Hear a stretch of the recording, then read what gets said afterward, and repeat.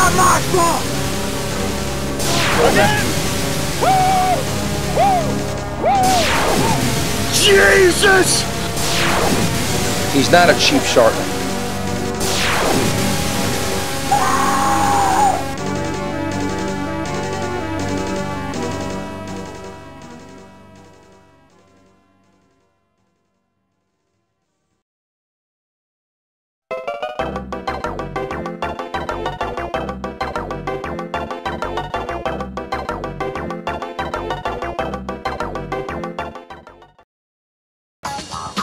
Live from the Rainbow Hall in Nagoya, Japan. Originally built in 1986, the Rainbow Hall has hosted such diverse activities as sumo wrestling and musical concerts by Whitney Houston, Phil Collins, and Eric Clapton. But tonight, 10,000 people are packed in here tonight to witness the Pride Fighting Championships. Rising Stars versus KG Veterans. Working with me at ringside is a man who needs no introduction the world over in mixed martial arts. Fans, and welcome back to Pride Resurrection, the historical video series dedicated to the Pride Fighting Championships, where with each episode, we'll take a look back at a specific event from Pride's history. And today, dear viewers, we're going to take a look back at Pride 9 New Blood. I am the most dangerous man alive today, joined by the Colombian Good Vibe. There we go. That's energetic. I didn't like it last time. I liked it this time. That was good. And the machine. No, he's not here. Speaking of the machine, did you hear? Did, I don't know if you read. Uh, the machine, like the MMA fighter, Uh-huh. just got sentenced. War Machine? Yeah. Yeah. Yeah, What just- was he sentenced to? Uh, I was follow- seeing that the the case, uh, some uh, videos on YouTube. Uh, yeah. I, I, I actually don't remember what the sentencing was. I think it was like a couple years or something like that. know. It's June 4th, 2000, a little more than a month after the conclusion to the Pride Grand Prix of 2000. And the Nagoya Rainbow Hall will see blood. New blood. Well, some new blood.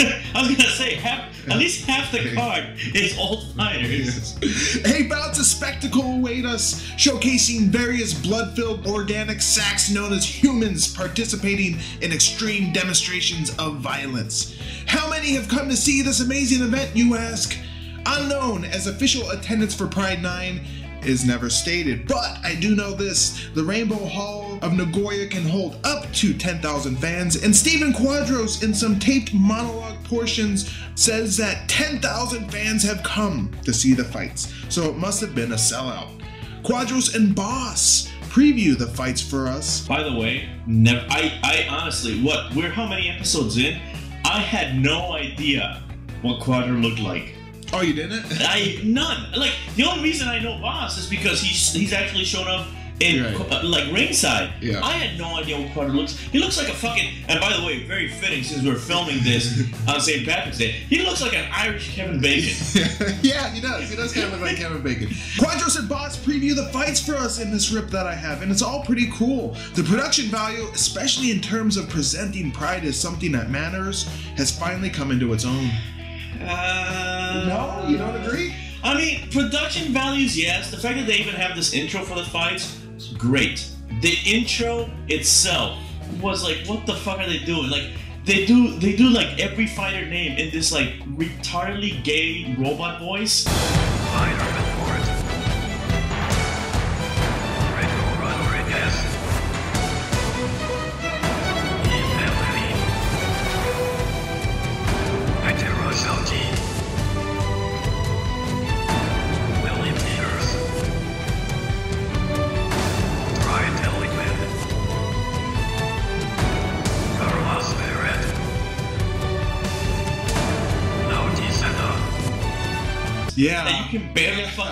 It was the robot. It was it was kind of kind of stupid. By the way, the other thing I wanted to point out about the intro, and it is one of my biggest pet peeves, the phrase needs no introduction. yes. Because that's a fucking introduction. Don't say, oh, he needs no introduction. But we're gonna here do he it. is. It's like, oh my god, I'm gonna punch you, Quadros. I just met you. Before we get into the event, what else was happening in the MMA world around this time? Across the Pacific in America, 1,100 drunks turned out for UFC 26 Ultimate Field of Dreams, which was held on June 9th in Cedar Rapids, Iowa. So they built it and they came. Some of the fighters featured that evening included MMA journeyman Shonie Carter, Jens Pulver, Matt Hughes, and Pat Miletich. But the main event that evening saw Kevin Randleman taking on Pedro Hizzo for the UFC Heavyweight Championship. Kevin would win via unanimous decision after five rounds. This is part of the reason why Kevin Randleman didn't participate in the Grand Prix. He had extended his contract with the UFC, and that will keep him away from Pride for another couple years. Meanwhile, just a day prior to Pride 9, K1 had an event over in Switzerland, K1 Fight Night 2000, which featured a young Miracle Cro Cop, a man who needs no introduction. Oh my god. I fucking hate you so much. and I don't introduce him, being defeated by Andy Hug via unanimous de- decision.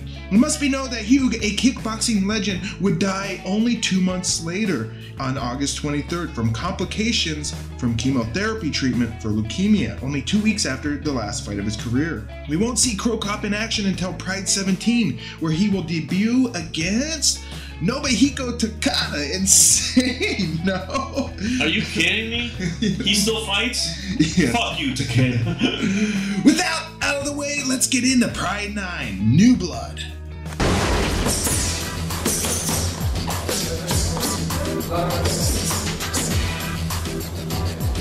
No, I love Pride. Uh,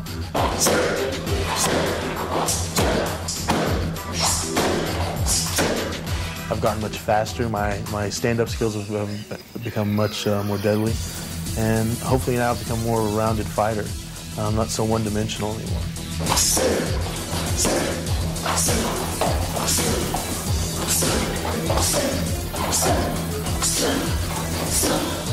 I enjoy every day of it, uh, and and if you don't, I think you need to seriously consider what you're doing. Uh, if you don't enjoy getting up every day and doing it, then uh, what's the point? Willie, I'm coming at you, man, and I hope you're ready.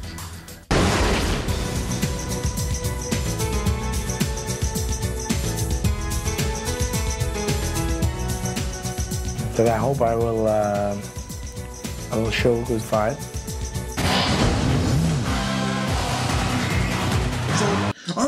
Bout of the evening sees two newcomers to Pride as the Texas Crazy Horse Heath Herring from the USA, who was 22 years old at the time and had an MMA record of 13 and 5, takes on Willie Peeters from the Netherlands, who was 34 years old and had an MMA record of 9 9 and 1. Willie Peeters is a rings veteran, having fought in 12 rings events from 1995 to 2000. Rings, which has a storied history of its own, came about in a similar fashion as Pancrase. Pro wrestler Akira Maeda decided to start his own promotion after the UWF went belly up for the second time in 1990.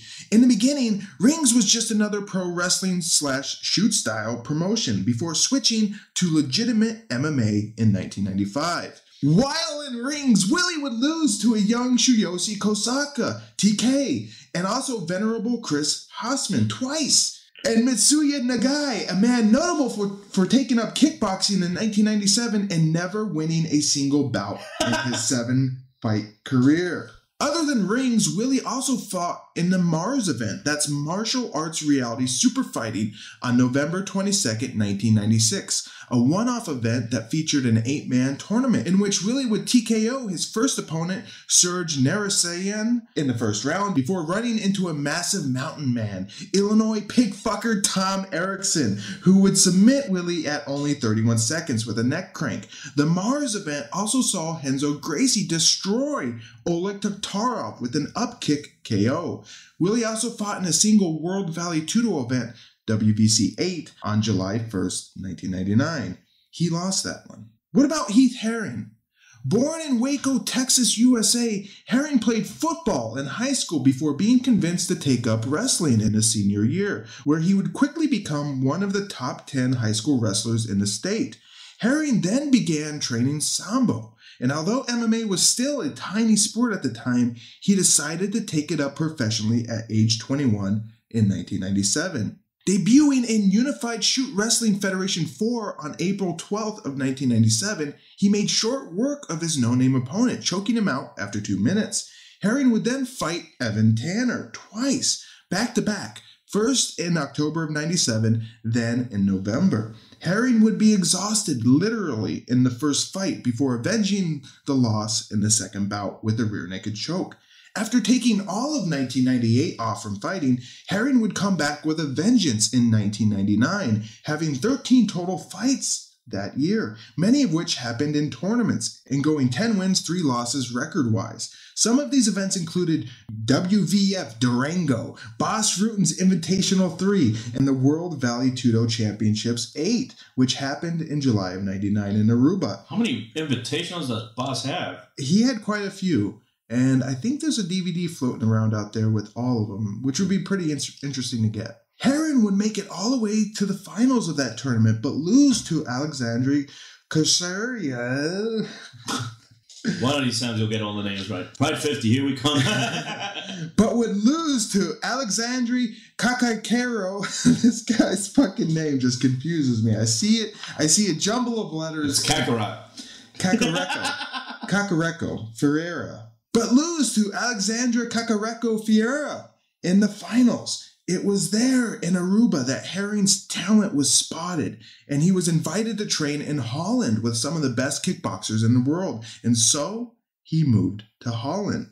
Training in Holland must have helped because the next World Vale Tudo Championships in September of 99, Herring would win the whole shebang with two submission wins and then a TKO over Dirty Bob Schrijber in the finals.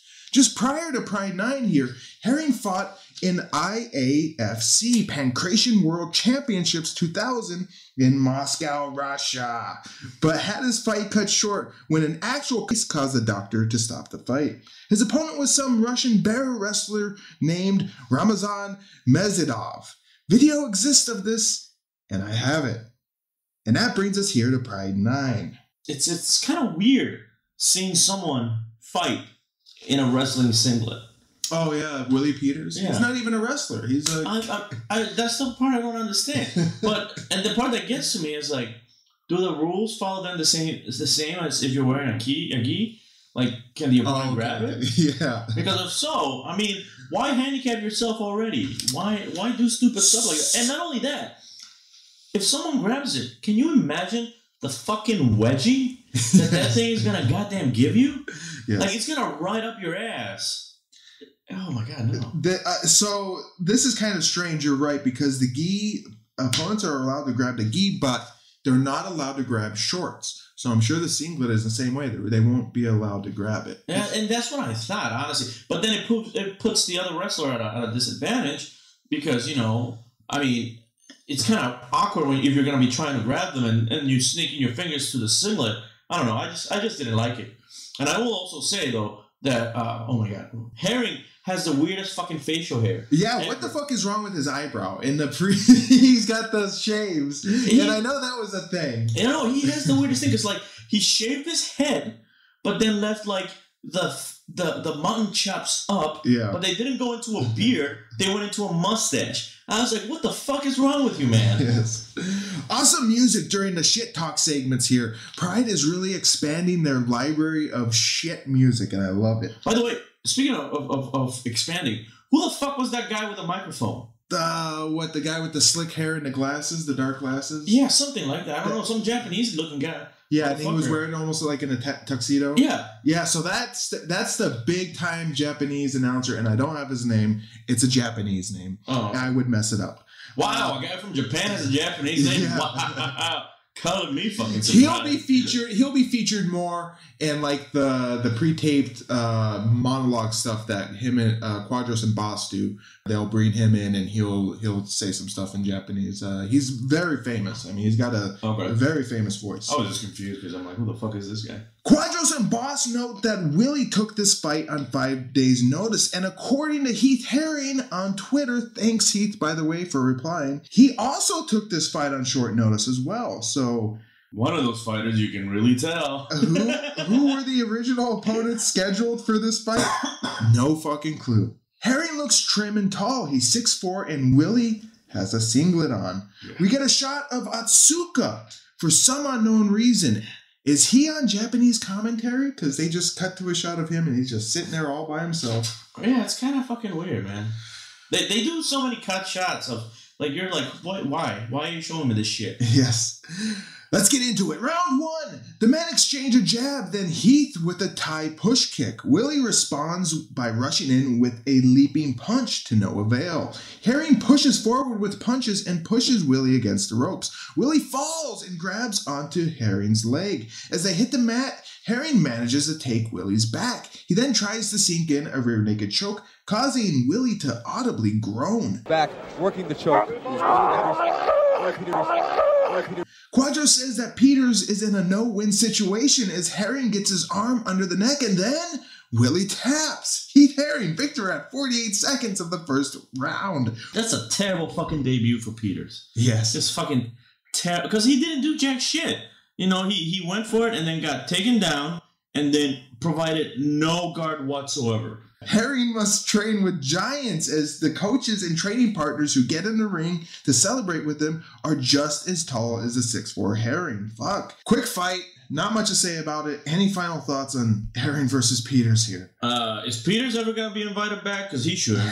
Jesus Christ, this is sad. Oh, uh, I, I have some notes. I mean, how that. the fuck does he? You said his record was like nine nine and something, or 9 9 and 1. how the fuck did he get nine wins? And rings, rings. They try. Oh, trust me, rings didn't have the. Rings was pretty much pro wrestlers. He just playing around with these. Oh, okay, okay, that makes a lot more sense because after seeing this, I'm surprised he's not part of the Takeda Dojo. Herring.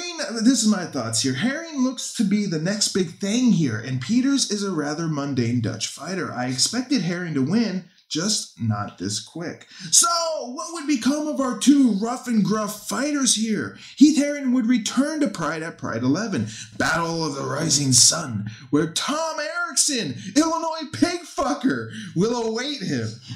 As for Willie, this was it for his MMA career. He would retire from pro fighting after this and would never step foot in the ring again. We'll see you around, Willie.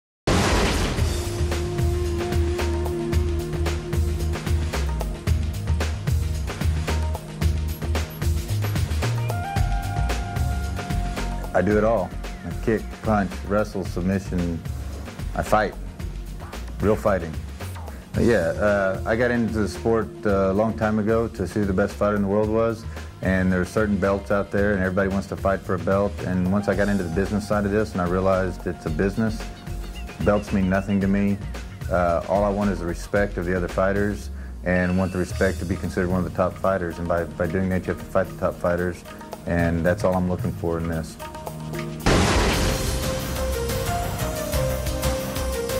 A mensagem é que eu trabalho, é, isso para mim aqui é um trabalho, é um trabalho que eu levo muito a sério e que eu fico muito feliz quando eu vou aos Estados Unidos e vejo o público reconhecendo nas ruas, me apoiando, torcendo por mim. Ao Canadá, eu não conheço o Canadá, mas espero em breve poder conhecer o Canadá, que é um país que me disseram muito bonito, muito acolhedor. É, eu sou amigo do Gary Goodrich, que é canadense, e eu espero um dia ir lá conhecer esse país. E a mensagem como lutador é o seguinte, gente, procurem ser sempre disciplinados, terem consciência do que o trabalho que nós fazemos é um trabalho muito árduo e que o lutador de vale tudo é um esportista que se dedica muito, se dedica muito para dar um bom espetáculo para o público que gosta dele. E torçam por mim e Carlão Barreto vai estar sempre fazendo um bom trabalho, dando um espetáculo legal para vocês. Valeu.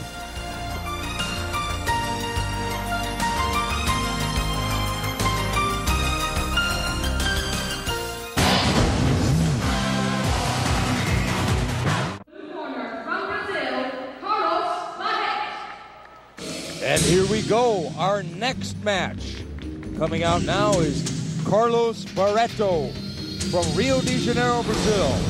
He is a jiu-jitsu stylist who is also trained in boxing.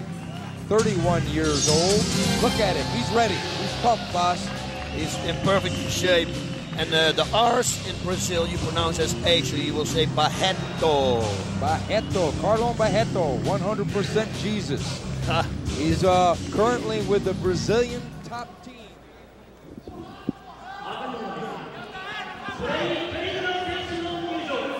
In the red corner from the USA. And here he comes, his opponent, Trey Trauma Telligman from the USA, fighting out of the Lions Den gym, uh, residing in Texas. He's six foot two, 223 pounds, 35 years of age, and he's ready to rumble. His corner man tonight will be out of the Lions Den, Jerry Bohlander. Our second fight of the evening sees a returning Carlos Barreto, who was 31 years old at the time and had an MMA record of 10 and 2. He's facing off against newcomer Tracy Trey Telligman from the USA, who was 35 years old and had an MMA record of 6 2 and 1. We last saw Carlos at Pride 6 losing a split decision against Igor Vovchanchyn. Between then and Pride 9, he only fought once at International Vale Tudo Championships number 12 in August of 99, where he beat Gary, who? Myers, after breaking Myers' leg Whoa. when Myers tried to block a knee from Barreto. But who is this man named Tracy? Telligman started his pro MMA career in 1995, debuting at Absolute Fighting Championships 1 in Moscow, Russia. A 32 man tournament that also saw Igor Vovchanchyn fight in, and also the mutant Ricardo Moraes winning it all. Oddly, Telligman only fought once in the tournament, despite beating his Russian opponent. I'm not exactly sure why. Trey then went on to Super Brawl number one, the Hawaii based promotion. Love those names. Super Brawl. God damn. which was held in June of 1996. Trey mysteriously won the eight man tournament after winning only two fights. It would have required three fights. Not sure what the deal is there either. Maybe he came in as a replacement. Then came UFC 12 in February of 97 in Dothan, Texas, where the sexiest man in MMA, Vitor Belfort, a man we'll see later tonight, was Trey's opponent. But the fight was cut short due to a cut on Trey's face in the first round. Across the sea, Trey went to make an appearance at Pancrase Alive 9, where he fought to a draw against Keiichiro Yamamiya in October of 97. He stayed in Japan to fight at UFC Japan 1 two months later in December, where he submitted Brad Kohler via armbar. After a stop at World Pancration Championships 2 and beating up some nobody named David Rivera, Trey went on to UFC 20 in May of 99 to fight Pedro Hizzo. Hizzo would KO Trey after four minutes in the first round. And that brings us here to Pride 9. Lovely music for Trey during his shit talk segment. Oh my god, really? Really? Because I'm not gonna lie. My note is the music for these videos is so fucking weird.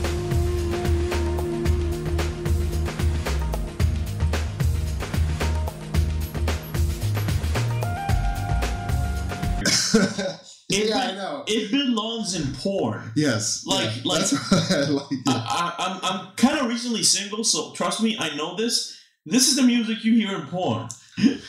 Trey said he got into the business to find out who the best fighter in the world is. We also get to hear from Barreto, who speaks in classic Brazilian rhythm and oddly blurts out that he heard Canada is a beautiful country and he has never been there. Every screen containing Telligman's name, they call him Try with a Y.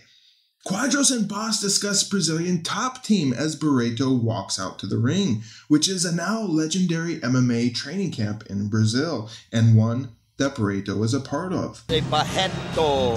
Barreto, Carlão Barreto, 100% Jesus. He's uh, currently with the Brazilian top team, a brand new franchise of former Carlson Gracie alumni. Yep, what you said, the Brazilian top teams, uh, team uh, has names like Murilo Bustamante, Ricardo Liborio, Pepe, and Paolo Caruso. Very strong team. Telligman is fighting out of Ken Shamrock's Lion's Den. He walks calmly to the ring and then gets up on the apron. He removes his shirt and what the fuck? For those who don't know, Telligman does not have a right tit. What? How the fuck did I miss this? You did see he had no right tit. No! It's conclave. It goes inward. They were talking about it. No, I- Quadros, Quadros has a hilarious comment here. I wasn't even. I, I might have not been paying attention at this point, but Jesus. Quadros hilariously says, This is not virtual reality or a special effect. Trey Telligman had an accident when he was one and a half years old and he lost his right pectoral muscle, folks.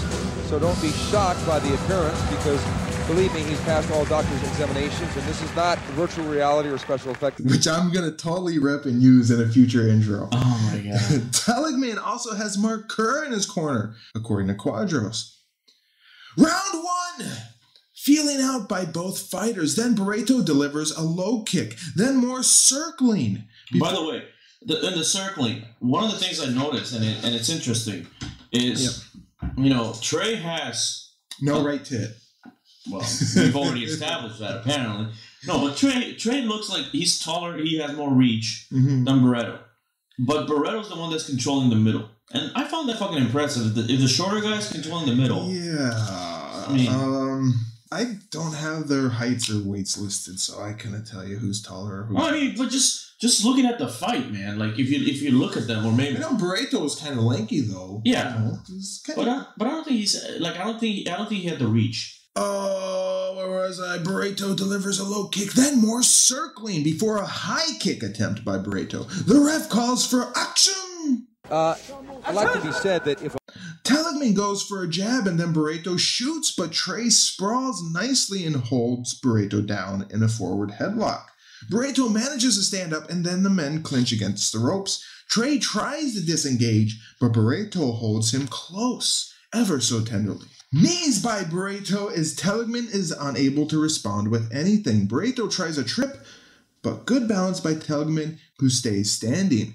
Action! calls out the ref. And Barreto knees again as we move into the corner. More knees and foot stomps by Barreto before the ref halts the fighter and brings them to the center of the ring. Five minutes down and the men's circle. Trey goes for a leg kick and Barreto clinches, taking Telligman to the ropes. Barreto tries hard to bring it to the mat before pulling guard, but nice scramble by Telligman, who manages to get on top and has Barreto in a forward headlock. Quadros tells us the rules regarding knees in this position. Now, in this position, we've got to mention the rules of pride. A fighter in Telligman's position cannot throw the knee while the fighter on the bottom in Barreto's position has all four limbs on the floor. But if Barreto were to lift one of his limbs off of the floor, uh, Telligman could throw either a nick, knee or a kick.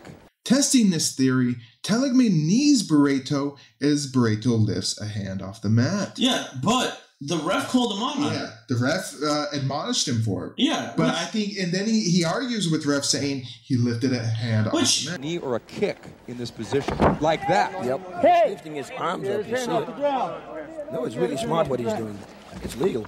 I mean, okay, I see that. I don't. I don't agree with it. Like, knees to the back of the head should be illegal, regardless. Like, mm-hmm. and I mean, Barreto, yeah, he, he lifted his arm a little bit, but fuck that. That's still te- like his position is still technically on all fours. Yes. Barreto pushes to get to his feet and Telligman knees as Barreto goes for his legs. Telligman falls to his knees and then Barreto pushes him down, getting into his guard. Three minutes remain in round one. Small punches by Barreto. The ref comes in then and moves the fighters out of the corner. I mean, the rope guys have been fucking slow for this fight. I mean, Trey has had a couple times, and uh, Barreto too, where where you see them grab the rope for at least a second before rope guy even tries to do anything. Yeah, there's one in here where the ref fucking whacks him. And I know I have it written. Yeah, no, no, no. Like that's the thing is, but that was like the second or third time he was grabbing the ropes. Yeah. Like the first couple times, like it honestly was like he grabbed the ropes, nobody fucking touched him, and he let go, grabbed him again. I'm like, dude, fucking knock his hand the fuck out of there. Slow work here as both men punch each other. One minute remains now in round one, and Barreto tries to posture up for strikes. Telligman stays defensive, not allowing much to get through, and then the bell rings, ending round one. This fight is two 10 minute rounds, as are all of the fights tonight, thank God. Hey, I believe this is the first pride where we have mm-hmm. even rules throughout all the Yes. fights. Quadros talks about Barreto being the then current heavyweight champion of the IVC promotion. That's International Vale Tudo Championships. Carlos Barreto is the current IVC International Vale Tudo Heavyweight Champion in Brazil.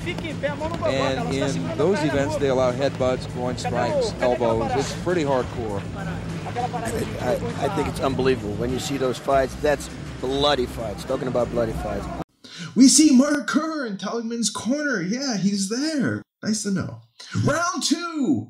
After circling, Trey comes in with a body punch and the men clinch. Barreto throws a knee that connects and Trey is rocked, backing away and nearly falling to the mat. Barreto rushes in for the kill, but ends up just clinching Trey. Barreto pushes Trey towards the corner, and as Barreto tries to take him down, Trey grabs the ropes, earning him a yellow card during the action. Barreto succeeds in getting Trey down and is in his full guard before Barreto pulls away and Trey turns, giving up his back. Barreto throws a few punches and then Trey traps Barreto's right arm. Barreto works punches to the back of the head, gets a warning, and then he knees. And then the men stand up momentarily before Barreto shoots in again, but this time Trey sprawls. Telligman then stands up and Barreto needs a rest, deciding to stay on the mat. After some barely committed kicks by a standing Telligman, Barreto stands himself. Barreto throws a right, then flies in for a takedown, but Trey defends and we are up against the ropes. Barreto looks tired here and he tries to wrap up Telligman's leg to pull him down to the mat. But Trey, with great balance as he resists it, and Barreto ends up falling down. Telligman is now in Barreto's guard. Teligman works body punches, but not a whole lot of output from either men. Quadros gives an overview of the rounds and decision scenarios for us. Under the rules of tonight's fights, uh, they are scheduled for two 10 minute rounds with a two minute rest period in between. If the fight is a really close one and goes to a draw, they will go to an additional five minute overtime round, in which will allow either a KO, a submission, or the judges to render a decision. We have three judges working at ringside tonight. Telligman stands and so does Barreto. Barreto with an unwilling kick attempt, and he is absolutely gassed out. Trey goes for a right, and Barreto ducks and grabs a hold of him. He pushes Telligman back and then throws a knee that doesn't connect. Five minutes down in round two, just as Barreto throws a pillowy soft knee. Bas asks who has the most condition and who wants it the most. Who's got the most condition? That's what's going to happen. Who wants it the most? This is the moment. Barreto pulls Telligman away from the ropes and spins him down to the mat. Barreto is now in Telligman's full guard. Barreto tries a head crank, but nothing really comes of it. Quadro says that Barreto believes that God will help him win the fight. Then complete silence, maybe as both commentators look up to the heavens and wait for it to happen. God will help him, meaning Carlos Barreto, to win the fight.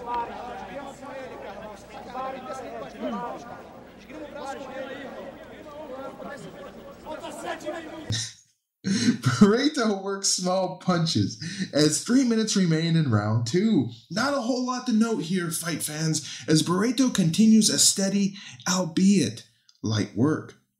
Bas says that he doesn't want to be the judge for this fight, and Quadros brings up his own past judging experience. I don't want to be a judge. That's the reason, one of the reasons I don't want to be a judge. Well, I've been a judge before, and fortunately, most of the fights ended in knockouts, or because the, the tournament I judged, Don Frye was in it, and usually it's either kill or be killed with a guy like that, so I didn't have to worry about it. Well, only one fight went the distance. Barreto has started to put up a little more oomph into his strikes, and then the bell rings, ending round two. We'll head to the center of the ring to see if we have a decision. And the winner, as I had predicted, Carlos Barreto in a very tough strategic fight with Trey Telligman. No shame for Trey Telligman. He fought a great defensive fight. Carlos Barreto, welcome back to Pride, his second appearance here in Pride. And the judges have called it for Barreto. Carlos Barreto, victor, with a two round decision. Good vibe. What were your thoughts on Barreto versus Telligman? All right. So first of all, I think it was the five minute call for the second round, Mhm. or three minute call, something like that.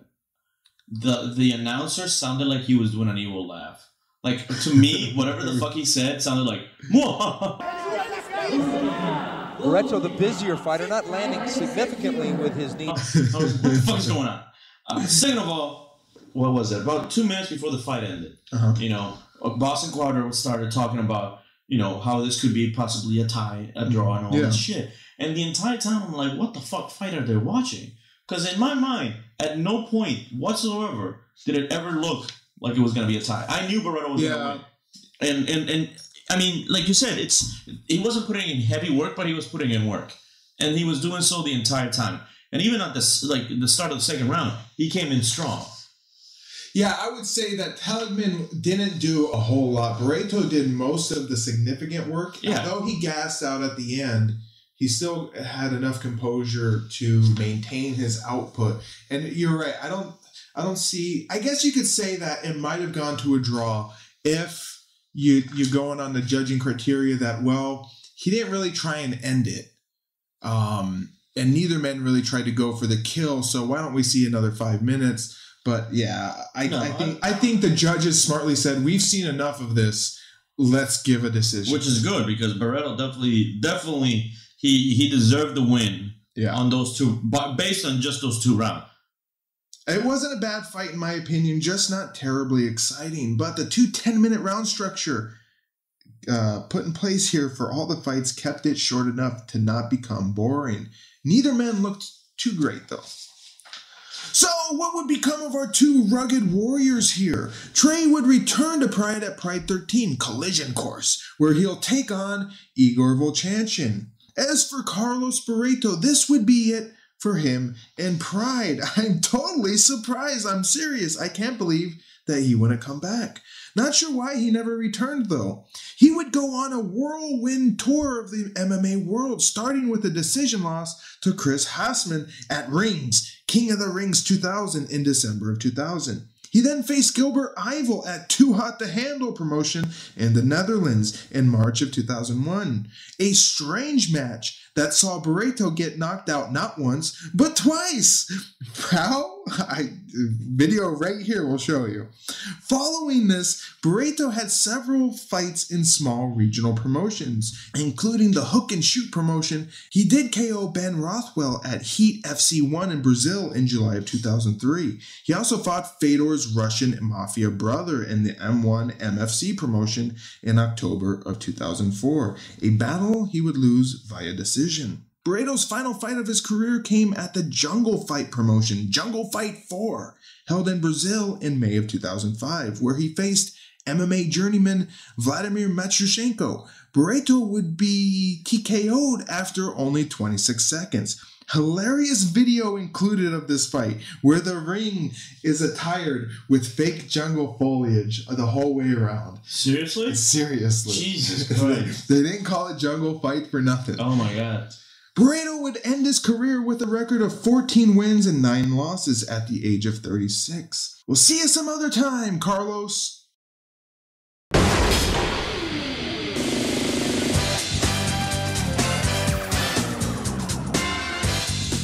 And one fight is never the same as another fight. One place is never the same as another place when I get to travel. The people are never the same. So I feel that uh, fighting is, uh, in one way or another, my life.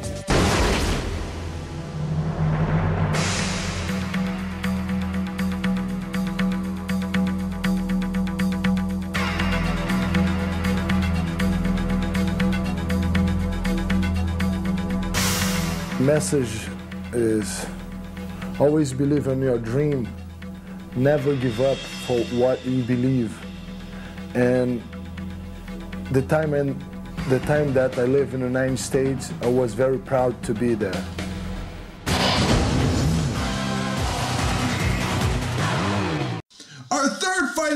evening sees a returning Alan Goes, who was 29 years old at the time and had an MMA record of 4 1 and 2. He's facing off against a returning Vernon Tiger White, who was 28 years old at the time and had an MMA record of 14 21 and 1. We last saw Allen at Pride 8, where he tapped out my fave, Carl Malenko. We miss you, Carl, wherever you are. As for Vernon, he comes into this match as the reigning King of the Cage light heavyweight champion. No shit. We last saw him playing around with Sakuraba at Pride 2, where he lost via armbar. Since then, he's fought three times, splitting a win loss in the IFC promotion in 1999, with the loss coming against the aforementioned Vladimir Matyushenko. And then, out of nowhere, he fought for the King of the Cage Light Heavyweight Championship belt in April of 2000 at KOTC 3, Knockout Nightmare, held in. California against Todd Medina, who came into that fight with a record of 3 and 4. And I note that because this is your fucking title fight. You have Vernon Tiger White, who at the time had a record of 13, 21, and 1. Jesus. And he's facing off against Todd Medina, who had a record of 3 and 4. That's your championship match? Well, playing the devil's advocate, how many uh, main events do we have here in Pride Right. with a fucking piece of shit Takeda? yes, I, Huh? see, I All see your point. That's the thing is record record men, men I'm not that, no a whole bunch of fights in Pride. You had these shit. fuckers that had like zero and something records Yes. still fucking showing up to fight. Yeah. No, so, so But in Pride's defense, they weren't fighting for a championship. Although you did have uh, Masaaki Satake fighting for a chance for the Grand Prix, and then you also had Asumu fucker with the lightning bolts. Yeah. I mean, that's the thing is, is every, every championship has these fights that you look at and you're like, oh, I won whatever drugs you were having when you thought this was a good idea. Yes. Medina, by the way, is notable for having previously lost to Minoru Suzuki and Pancrase and also Gilbert Yvel in the World Vale Tudo Championships. Vernon, by the way, did his own knockout nightmare against Medina in, get this, nine seconds of the first round. Smells kind of fishy, don't you think? If I wanted to spend 98 cents, I could purchase a used DVD of this event to analyze it for myself but it doesn't seem worth it. Hey man, go make it at Hale at the strip. Much better waste of money. Anyway, it's a battle of two after runs of Kazushi Sakuraba, but who will be the victor? Vernon White has no time to acknowledge his introduction or applause. They both were after the fight. They were so tired they didn't come out. And even got Vernon Tiger White from Pain. Yes, Vernon Tiger White also. Yeah, but they didn't get an entrance. He didn't get it. No, yeah, No, uh, it was weird. They, they- picked and choose who got entrances. His entrance actually for this one on uh, on the DVD, the the robot voice. Yeah. he had glasses. It looked fucking awesome. I'm like, why didn't they include that? Yeah, he looked like he was ready to go. But Yeah, I was I was surprised. Also, um, two things. First of all, I will never, ever, ever, and you can hold me to this, listeners. I will never not laugh at a black guy named White. Oh, always funny as all hell. It is. It is fun. It is funny. Like kind of like Mr. Black Yeah. from The Simpsons. Yeah. he's white. It's always, always fucking hilarious when that happens. And, and people will kill me for this. I really hope Alan goes to town. Round one!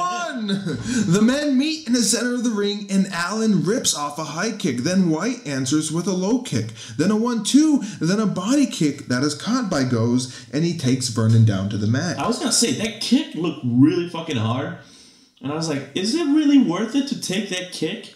Because like, eat it, yeah. holy shit, like it looked like it hurt. Absolutely. Goes is in White's full guard, and White has him locked down right now. Quadros mentioned that Goes has over 200 jiu-jitsu matches in his life, and that growing up in Rio offers a lot of opportunity to, appl- to apply your craft on the street. What a great country, Bas replies. Allen has uh, has over 200 victories in various forms of jiu-jitsu, sport jiu-jitsu, street fights, what have you. Um, growing up in Rio, you know, there's uh, a lot of opportunities to ply your craft on the street. Yep. Yep, yep, yep. Much yep. like Holland, huh, boss? Yes, I think so. What a great country, huh? Allen looks to pass and gets into half guard and works some body punches. Bas suddenly decides to introduce his Tony Montana impression. Oh my god! and in a, in a hilarious Fucking bit, Christ. he asks himself what he thinks of this fight. Hey, we got Tony, Mon- Tony Montana, man. What are you doing here? How you doing, boss? What do you think of this fight, Tony? Tell me. To me, man, I'm looking like two cockroaches on the floor, man. Okay, I told you you can't say that. I'm sorry. Of course, Bas would also introduce his impression in earlier prides in commentaries that were, of course, recorded after this event. Quadros flops between calling Allen both Goes and Goesh Alan Goish. and brings up a story of Alan being trapped in the Amazon jungle for three months. was in the Brazilian army when he was 18 years old, and there was a time where he actually got trapped and stranded for three months in the Amazon jungle with his with his company, and he survived. Unbelievable. And he said that that made him into a tougher guy. It got him in touch with his, with God, and it got him in touch with uh, his uh, his fear for three months. Bas then talks about Goes being heel hooked by Frank Shamrock and Pancrase and how Goes said he would never tap out, in which he ended up fucking up his foot. Five minutes passed in round one, and we're still here with light work being done by both men. This is a bit of a boring fight to the casual fan, which Quadros talks about and how that plays a role in promoters choosing who to have fight at their events. And that was hilarious because I literally started thinking that. I'm like, this is fucking boring. They start off so strong, and I'm like, I'm about to start typing this, and then they start talking about it. I'm like, oh my god, that's me. They're talking about me. I'm the kind of guy, fight, fight fan. Well, technically, fight fan. We'll go with that.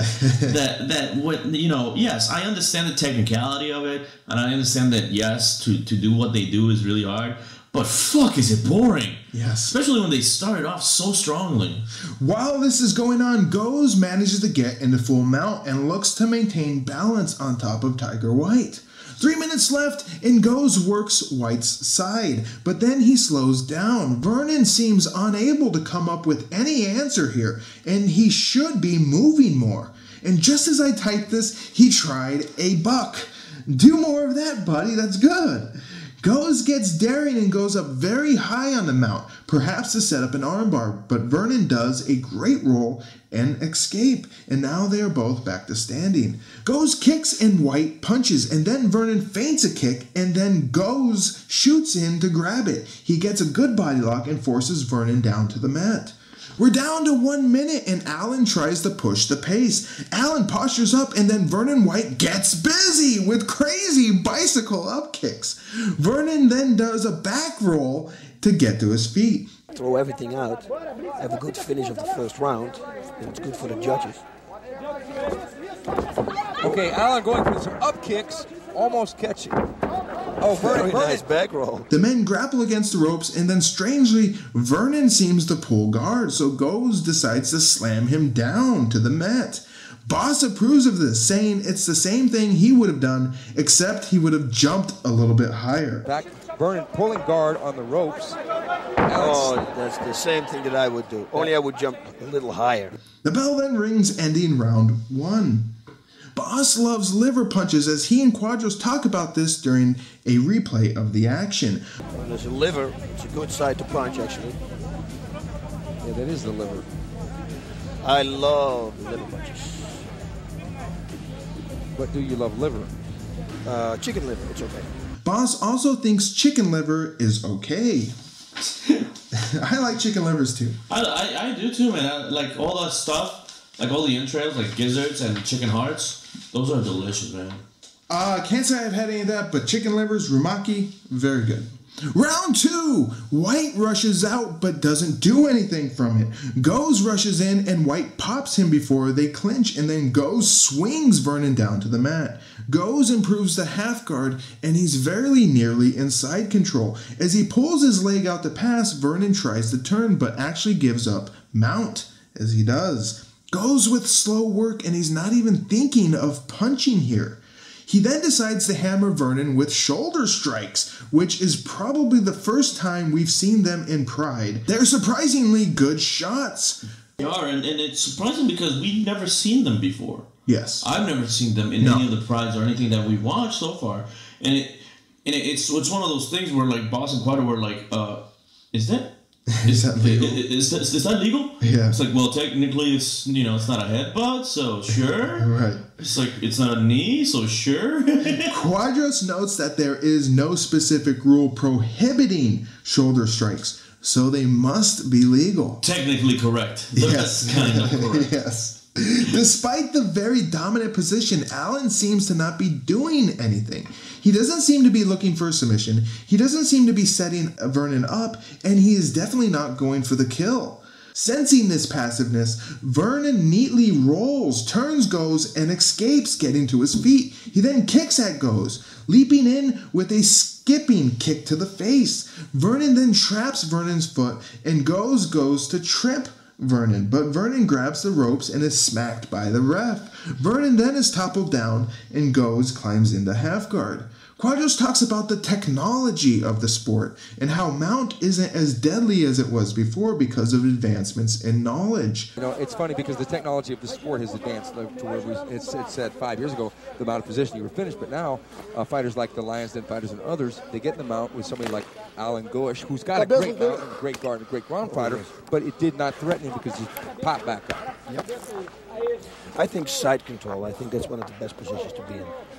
Go to the side. From there, you can go for almost everything. You can you can take leg locks, arm bars. You can punch. You can elbow to the body.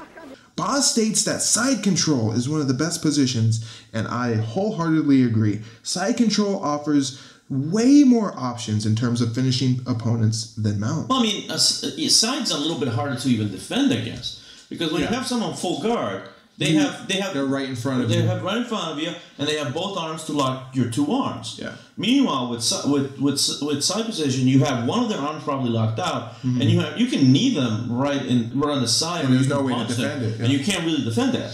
Five minutes down, and we're back to Go's measured work. That is to say, slow. Go's is back in mount now, but we're trapped in the ropes. Yuji Shimada, the ref, might be waiting for his moment to move the fighters. More shoulder strikes from Allen. Three minutes left, and the refs come in to move the fighters out of the ropes. More shoulder strikes from Goes that are right on a button, then punches. One minute now, and Allen pushes more to get Allen pushes more to get throw strikes.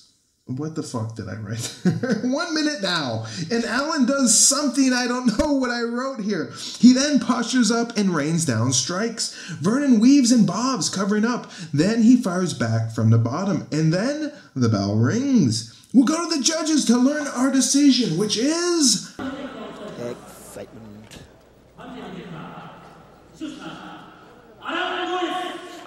Alan Goes winner via decision after two rounds. Unsurprising, really. It was. It was completely unsurprising because one of those things. Allen had the control the entire time. He had the he had the match. I'm, I'm sad that he didn't end it, but Yes.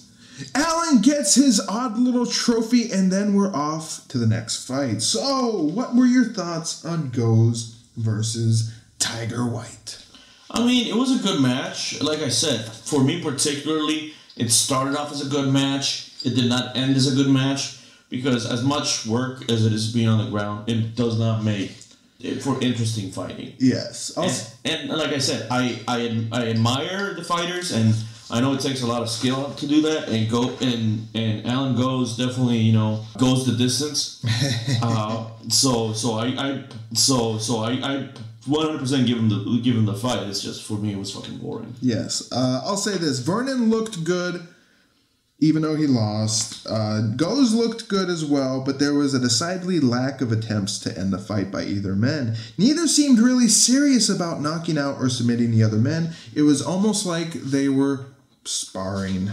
So, what would become of our two feisty fighters here? Alan Goes would be back in action at Pride 13 Collision Course, where Mark Coleman, reigning GP champion, would mark his return to Pride in March of 2001. As for Tiger White, this would be the end of his Pride career. He would never return to the land of the rising sun, but would continue his MMA career in the USA all the way up until 2010. After Pride 9 here, Vernon would defend his King of the Cage belt four times before de- being defeated by Jeremy Horn at King of the Cage 23, Sin City, in May of 2003 in a decision loss.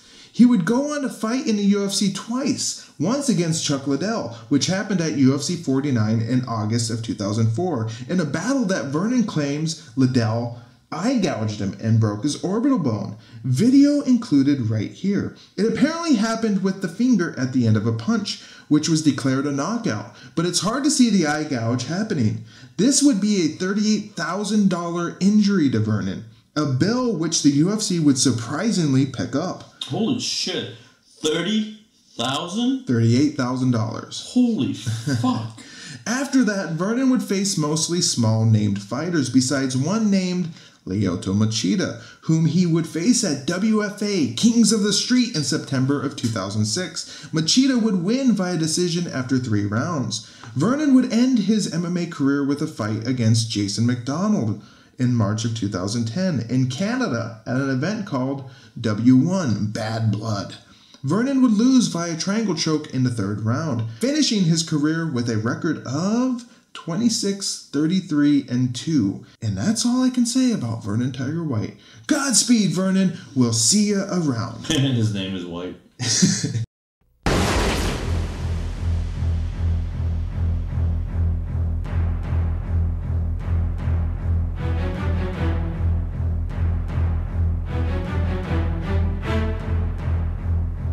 うんみんなが思ってるような、うん、バーリトゥードじゃなくて、 まあ、違う形のバーリトゥードを見せられればいろんな国の人が出てくる大会でもあるし一人でも多くの日本人が活躍できるように頑張りたいです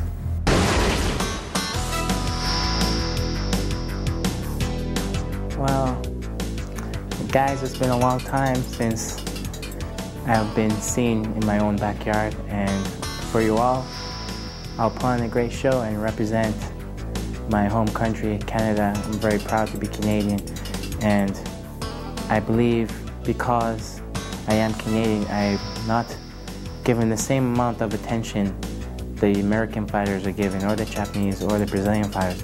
But I will be the one Canadian that makes the difference, and for that, it will represent us as a whole, and I'll make that dream come through for everyone.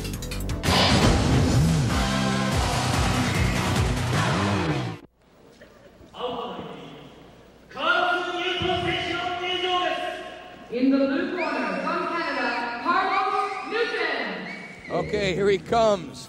Carlos Newton. Now, Bas, this man is one of the real action fighters in the Pride Fighting Championship. Yes, he's together in the line with Gilbert Yvel, Sakuraba, and Carlos Newton, guys who always do unexpected things. He trained actually in our dojo for a while. He stayed in our dojo for about, I think, six weeks. The Beverly Hills Jiu-Jitsu Club?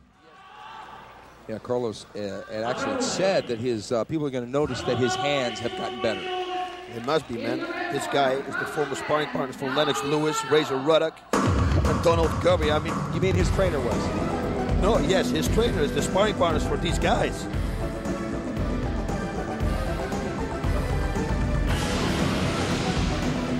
Okay, and here he comes, Naoki Sano.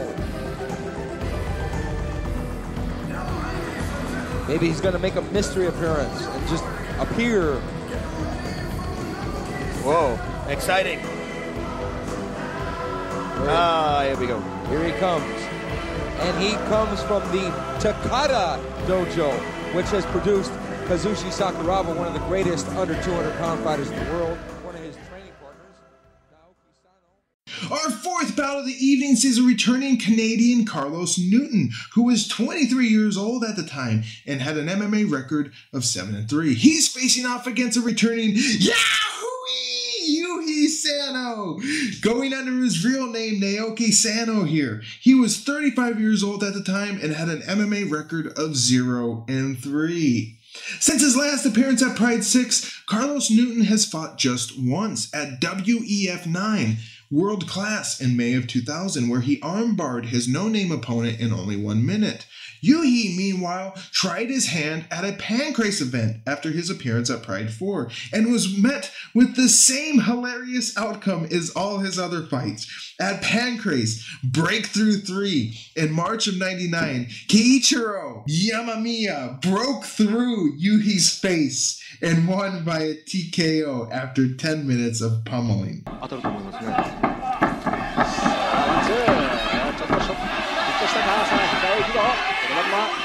今までの試合でも見せてきたようにこのコーナーポストを背後に回しの攻撃に出るか。そのまま自分でアウト鈴木だ。鈴木だ。鈴木だ。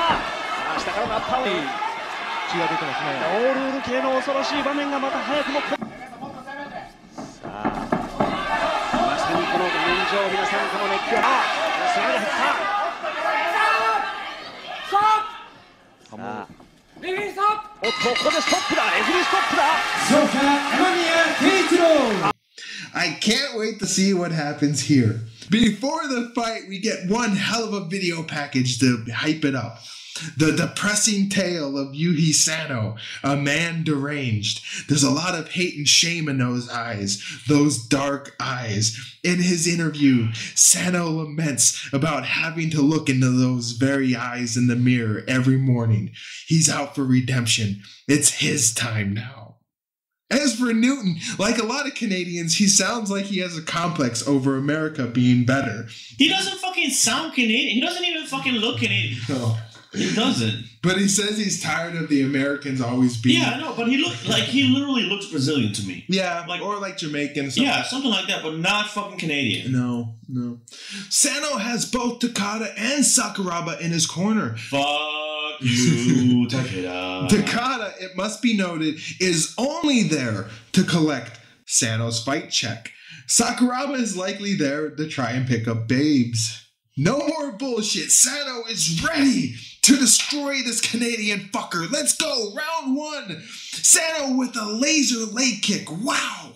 Newton wades in and taps Sano with an uppercut. They grapple, and Sano looks to use his muscles to push Newton around. Two knees by Newton, and then Newton forces Sano down to the mat. Not a problem, it's okay. You've been here before, Sano. Newton passes guard very quickly, getting into mount. Newton sets up Sano with distracting punches, and Sano stupidly leaves his left arm up in the air, to which Newton happily takes and makes Sano tap out. Carlos Newton, winner at 40 seconds of the first round. Uh, this he's going to work. He's Oh, going to be all over in the He's- first he's move. got the mount. and, This you know, good. This may be over very Armbar, here he comes. He's going to go for the Armbar, armbar. left arm. Here There it it is. is. There it is. There it is. And he's got the arm already tapped. A very quick victory there for Carlos Newton over a game but overmatched Naoki Sano.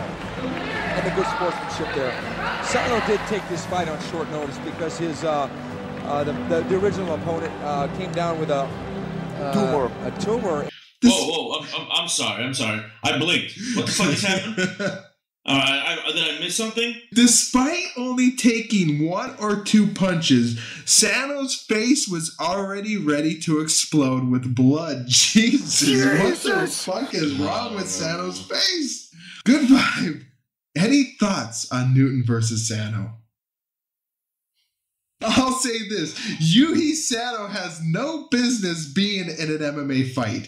He apparently took this fight on short notice, so I have to give him props for that. I don't. I don't have to give him jack shit. He's a member of the fucking Takada Dojo. Yes, So, uh, uh, no shit, he lost. And him fighting here is only doing Takada favors, as Takada is cashing Sano's check. So, what would become of our two wrestling rustlers here? Carlos Newton will return at Pride 12 Cold Fury in December of 2000. There he'll face off against Yohil de Oliveira. That's pretty close. There, he, there. a Brazilian Vale Tudo fighter. I'm moving on. As as for Yahoo, this would be the last time we'll get to see this bag of shit in oh Pride. my god, thank you, fucking Jesus. Or any MMA ring for that matter. Yuhi would go back to the squared circle, wrestling for the Noah promotion from 2001 onward. Noah, it should be noted, had some serious problems with Yakuza ties in 2012. No wonder he got a job there. yes.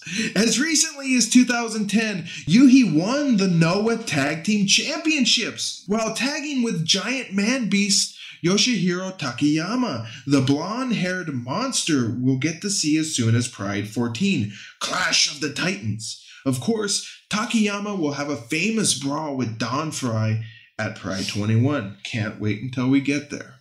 See you around, Yuhi, and we'll miss you. Hashtag War Sano. Oh. Hashtag piece of fucking shit, Takada. And that brings us to the halfway point of our amazing event here. So, we're going to take a little break. So, won't you come join us as we play some video games? Yeah, video games. Welcome to intermission.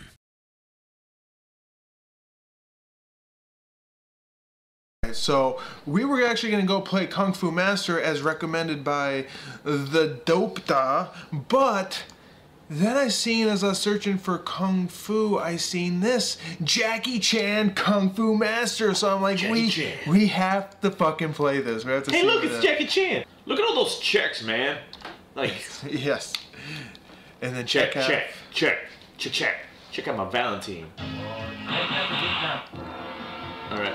All right. So I'm gonna be. Is this a dragon? Is that what this fuck this is? I'm two player here, and I'm gonna be this guy, All right, I'm gonna be the dragon. Thorsten. A fucking lion? What? How is that a lion? Look at look at this. No, look at this What guy. is that? What is that fucking? There's no way this guy's a lion. Oh, fuck you. so this is this is like a cheap Mortal Kombat knockoff, and it's actually pretty good. It moves really well. Yeah. Uh, actually, about ten times better than the fucking Tattoo Master game we played, the Tattoo Assassins. And I am fucking kicking your ass right now. But Yeah, you are because I don't even know where my limbs Wait. are. What did you just shoot at me? How do you do that? I don't know. You really asking me how I do anything in a fighting game? Oh! This game's actually pretty. Wait, uh, what? What's going on? Holy fuck! Oh, I think you can finish me there. I don't see how. Set two. Not even a round. We're playing tennis. Fuck you. it's gonna be a perfect. what? no, not possible. No, no. Oh yeah, I saved myself from a perfect. What? How the hell is he? Fuck you, man. I have no idea how I did so much damage with two. Uh, Yeah.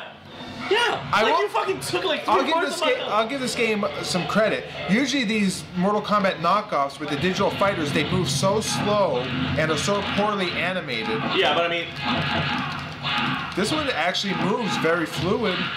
Although your character kind of sucks. no, my character, like you can't really tell what. Look at how much damage you're dealing. Whoa, what did I do there? How did I do that? So I don't know what is the way to do the special moves here. I'm trying to figure out how to do a special. I mean, so am. I. You were shooting those little guys. I know, and I can't do it anymore. All right, I gotta finish. I can't. No, stop. I'm trying.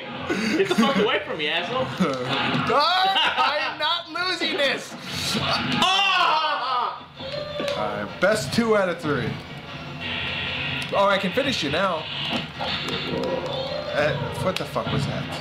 Oh, the crows come and get you? And the crows are eating the lion. I like that little dance. Though this game is well, look at it looks like it should be the cover of a fucking romance novel. Oh shit, Fabio. This game is obviously pretty limited. I'm gonna go with this Jackie Chan looking motherfucker. And I am oh my god, you're gonna destroy me. I'm loud. Look it, my controller is blinking here. I have no control. Holy fuck. Holy shit. what is that? What is this? Are you kidding me? Yeah, that character model actually looks really good. Oh. I mean, my character is kind of generic and so is yours, but yours looks fucking awesome. What the fuck is this shit? Yeah! I'm gonna lose my control. What the, fuck? That fucking explosion? How are you doing these moves?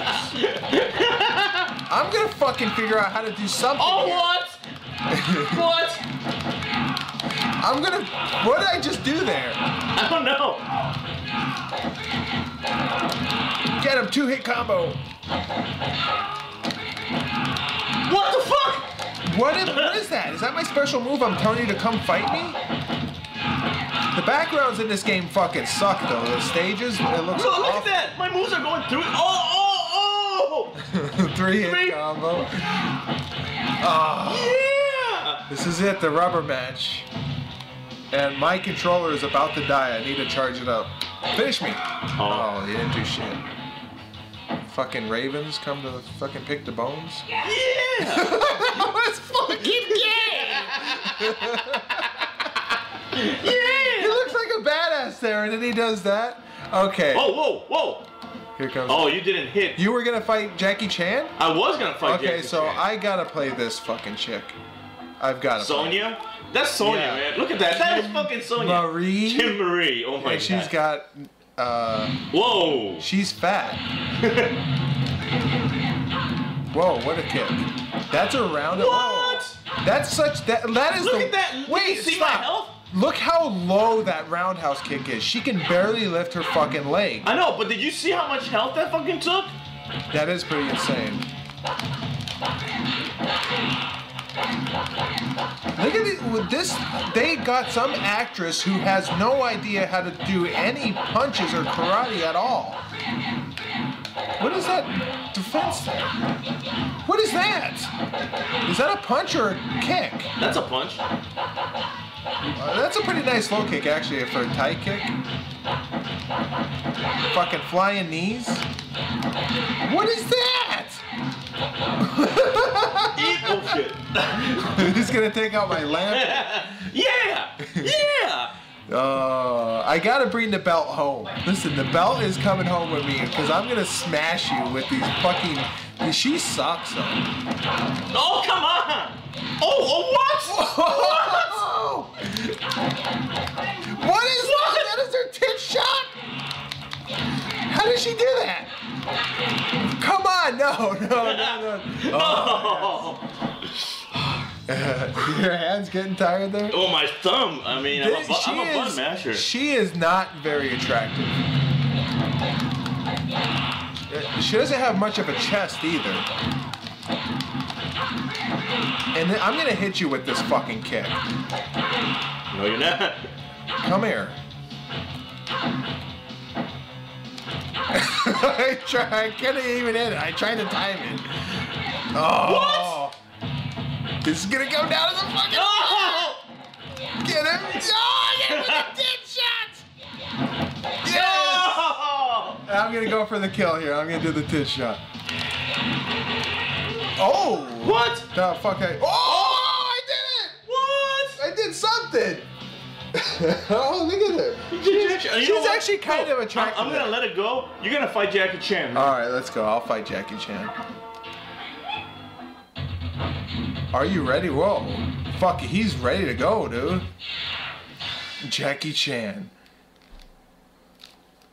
Wonder where they found this actress. Oh man, Jackie Chan. Oh, Holy Jesus. shit. Holy shit! Look at. Dude, he's like so fast. Dude, no. Holy crap! Holy shit!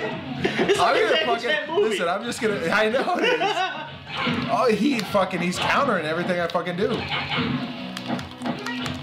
Oh, I tried to fucking smack him. He knows exactly what I'm gonna fucking do. Fuck you, Jackie Chan. He's fucking a cheater. Look at that! Oh, he's fat Jackie Chan. All right, so I'm gonna fucking. I'm gonna be cheap here.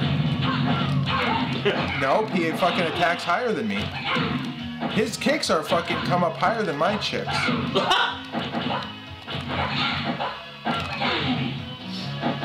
Fuck you, Jackie Chan. I'm fucking. Get him. Fuck! Fuck you. That's it. Let's get back to the fights. Wait, wait, he's finishing you up. Fuck that! he just hit you with the Dragon Balls.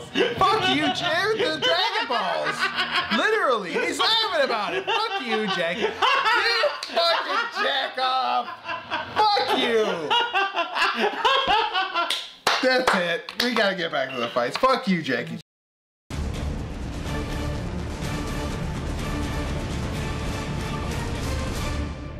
and our second half's about to begin.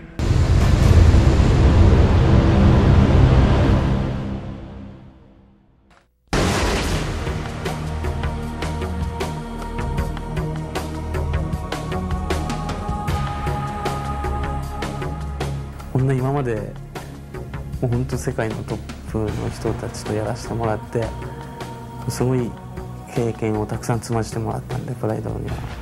それをいかに僕の中であの噛み砕いて考えて身にしていくかっていうのは僕自身のあの練習次第だと思うんで。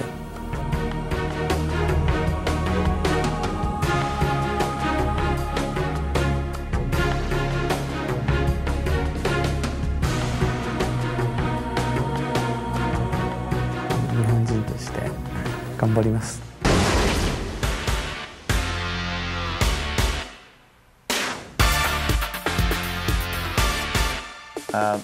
My friends and family just say I'm crazy, but I, I just like the whole aspect of it. Uh, you know, uh, I like individual competition, not team competition, because that pits your skills and who you are against somebody else and who they are. And uh, ultimately, it's a matter of heart. Who, who's got the greater desire to win? And uh, so, it's just a great sport.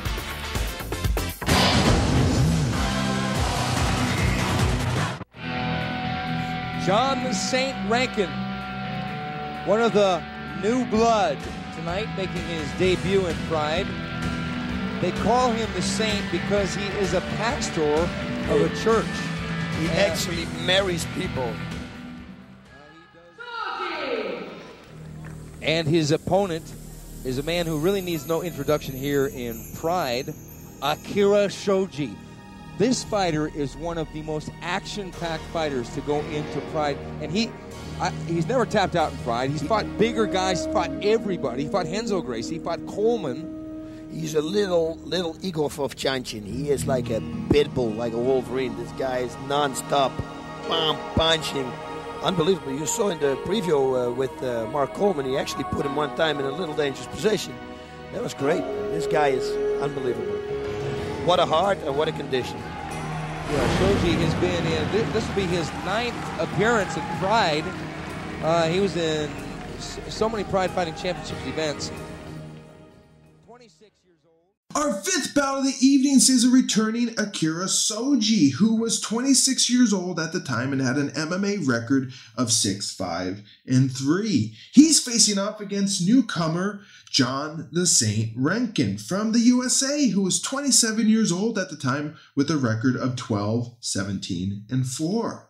Akira Soji surprisingly makes an appearance despite getting his head smashed by Mark Coleman, a beating that caused Soji to have vertigo and headaches for several weeks after. He is a warrior, that's for sure. I will say I will say that you know talking about the tournament and everything. Before the tournament, we gave Soji a lot of shit Yeah. because you know from when he started off so strong and then almost like let himself go, Mhm. and then the tournament happened, and to me, he honestly fucking just redeemed himself. You know, because he, he went fucking toe to toe with some fucking big ass names and got beat the fuck out of him. You know, but he still made it. He made it with Igor, man. He Yeah. fucking went the distance with Igor. Yeah, and he um he went the distance with uh, Coleman, Yeah. which was unbelievable. Uh, so yeah, I, Soji has a lot of heart. Yeah. I'll give him that.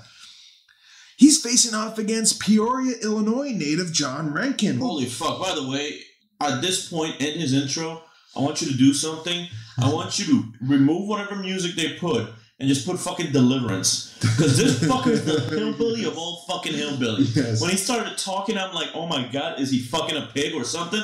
My friends and family just say I'm crazy, but I, I just like the whole aspect of it. Um, you know, uh, I like individual competition, not team competition, because that pits your skills and who you are against somebody else and who they are. And uh, ultimately, it's a matter of heart. Who, who's got the greater desire to win? And uh, so. Because holy shit. He looks like an Illinois doofus, that's for sure. And Peoria, Illinois is right down the road from Pride Resurrection Central here. Renken has been around the block a few times already, mostly fighting in smaller regional based promotions such as Hook and Shoot, IFC, And Barnes. He's fought in Barnes. 'Cause He's Barnes. a fucking hillbilly. He's fought in, in the back alley of fucking. He some- does uh, grease pig wrestling. yes. In all that time, Renken had one single marquee fight which happened in Pancrase in December 1998 at Pancrase Advanced 12, in a matchup that will make you scratch your head and wonder why. Coming into that fight with a record of 10 8 and 4, Renken faced off against legendary Masakazu Funaki, co-founder of Pancrase, who had a record of 36 and 10 at the time. A bit of a mismatch, you say? Yes. My best guess at to why this happened is that Funaki was coming off back-to-back losses at the time, including one to Semmy Schilt, a Dutch kickboxer whom Funaki had twice defeated before. Schilt by the way, will debut in Pride at Pride 16 against Akira Soji. Anyway, the Renken fight I conveniently have video of. The result, you ask? Funaki would pummel Renken into submission at nearly 6 minutes of the first round. Since that fight in Pancrase, Renken has been a punching bag for a who's who of nobodies. His record in 1999 was a dismal 1 and 6. And his three fights in 2000 prior to Pride 9 here, he went 1 and 2. I think we can guess why he is here in Pride. But I'm still holding out hope for our hometown hero Renken. I don't think I'll be surprised. So I'm not gonna lie, you just fucking broke my heart, man. you literally just fucking broke my heart because here for this match, I have so many notes on how well Soji's doing, and and how much he's he's improving. And now you fucking tell me that he's fucking fighting a fucking word like oh, oh my god. You fucking shattered my hope and expectations for Soji, man.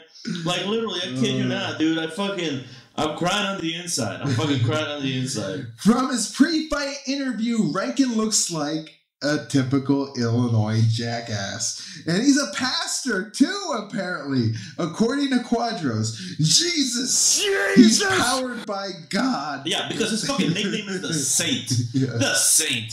Who the fuck nicknames himself the Saint? Uh. What kind of preacher decides, hey, I'm gonna I'm gonna go fight? Somebody from Illinois. that sounds No, like you know what? You know what? Asshole. No, you you want to know exactly what I fucking thought? It reminded me of Here Comes the Boom.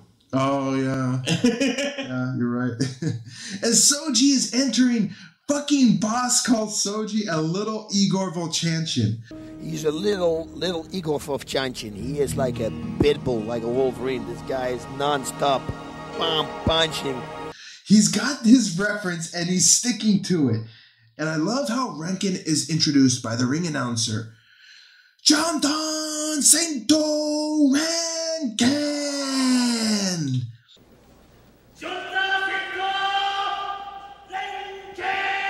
There he is, John the Saint Renken. Also, one must note Soji's ever morphing facial hair and hairstyles. He doesn't even look the same anymore. With all that out of the way, let's get into it. Round one. Renken comes out throwing, starting with a kick, then punches as Soji backs away. Soji moves forward and Renken shoots in, but Soji sprawls, leaving Renken on the mat. Renken then stands. More punches by Renken, and not many answers from Soji. As Soji gets close, Renken grabs him by the back of the neck and knees, then tries another knee that misses, then a high kick by Renken. Soji decides to take this to the ground, and he manages to grab Renken around the body and put him onto the mat. Soji works from half guard, but Renken is active from the bottom with punches. Soji seems to be plotting. Soji gets side control, making Boss very pleased. Chin strikes, I guess, by Soji. Are those legal? That's the head. Doesn't that count as a headbutt? I don't know, man. I don't know. Quadro says he's chinning him. He chinned him. He's chinning him. Better than rimming him, I guess.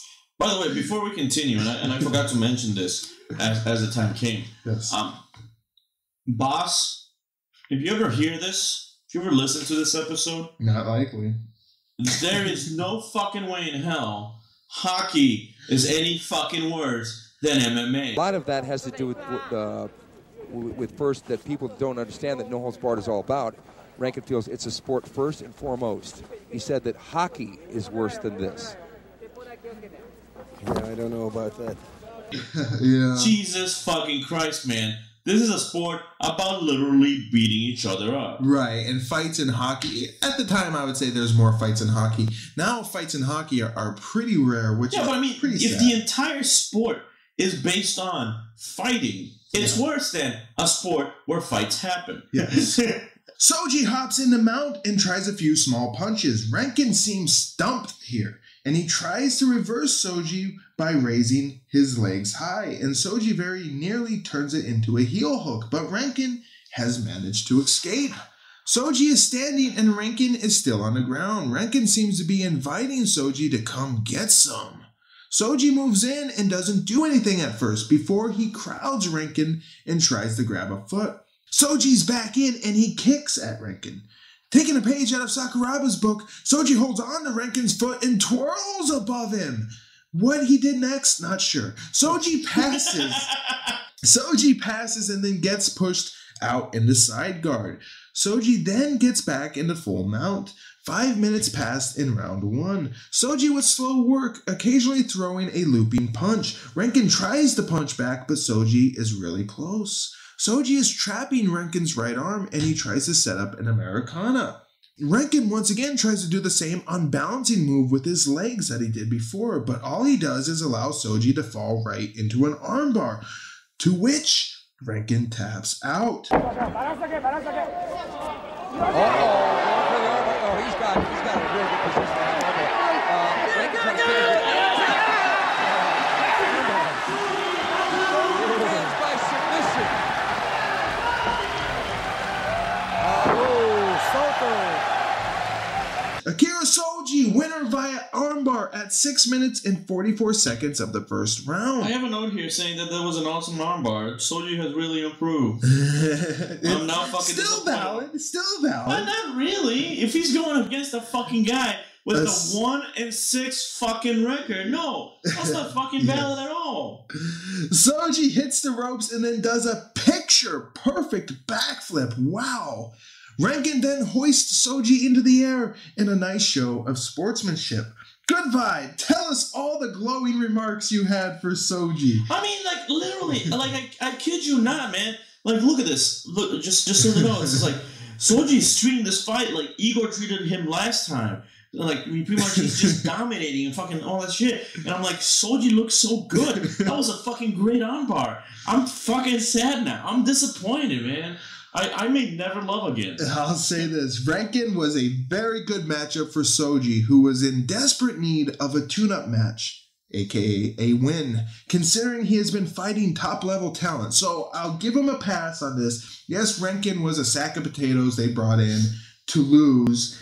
There's no denying that. But Soji has fought some of the top fighters in the world. Igor Vovchanchyn uh, uh, and Mark Coleman, two of the biggest F- MMA fighters of all time. Yeah, and, and that's the thing is that's why I had really good hopes is because I agree with you. You know, s- staying in the ring the entire time with Igor is fucking amazing. Yes. Plain and simple. Like that does take talent, even if that talent is being able to take a fucking beating. Yeah. But which is why I was so ready to to you know cheer him on for his amazingness. It's just knowing now that his amazingness was kind of a sham, manufactured, Manufactured? manufactured. Yes, thank you. Is is disappointing, literally. Like, Yeah. fucking disappointing. So, what would become of our two well meaning schlubs here? Akira Soji would be back in action at Pride 10, Return of the Warriors, where Herman Renting, a Dutch quote unquote MMA fighter, and I use that term very loosely, will await Soji. Renting, it should be noted, only had two MMA fights prior to Pride 10, and both of them came way back in 1995. Hmm, five year layoff. Hmm, only two fights. Can you say thanks? As for Renken, this would be it for his Pride career. He would go back to being a punching bag around the world, fighting until 2005 and amassing a record of 18 wins, 28 losses, 4 draws, and 1 no contest. How does he get wins? Are there bigger sack of potatoes than him? His record at Pride here was 12, 17, and 4 coming into this fight. So he only won six more times between 2000 and 2005.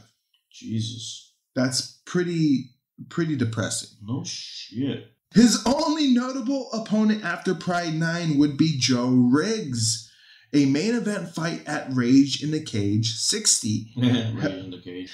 Better than Rape in the Cage. Jesus. Held in March of 2004 and amply named The Saint Comes Marching In. I guess Renken was a big deal for Rage in the Cage.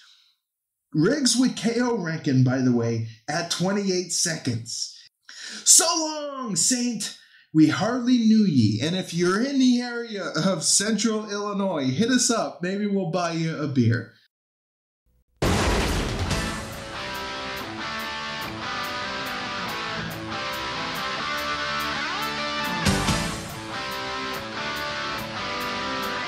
I'm a warrior. I'm a warrior. There's nothing there's nothing better in the world than rolling up your fingers, making a fist and punching somebody in the head and not even getting charged for it. You know, uh, a lot of people go to jail for doing what I do.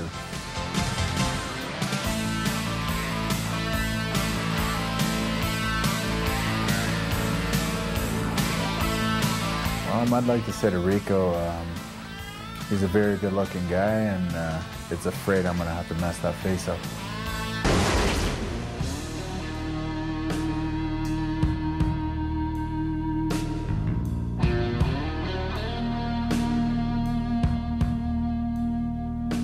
You know, Gary Goodridge is, I consider to be the top five of, of the Pride. There's five fighters that I want to go after, and Gary's number five. So I'm going to take them out one by one, and I'm going to become the champion. So his fan club will be my fan club, and I will build each time as I go up.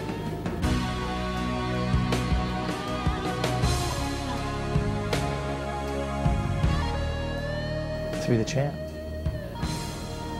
Nothing less.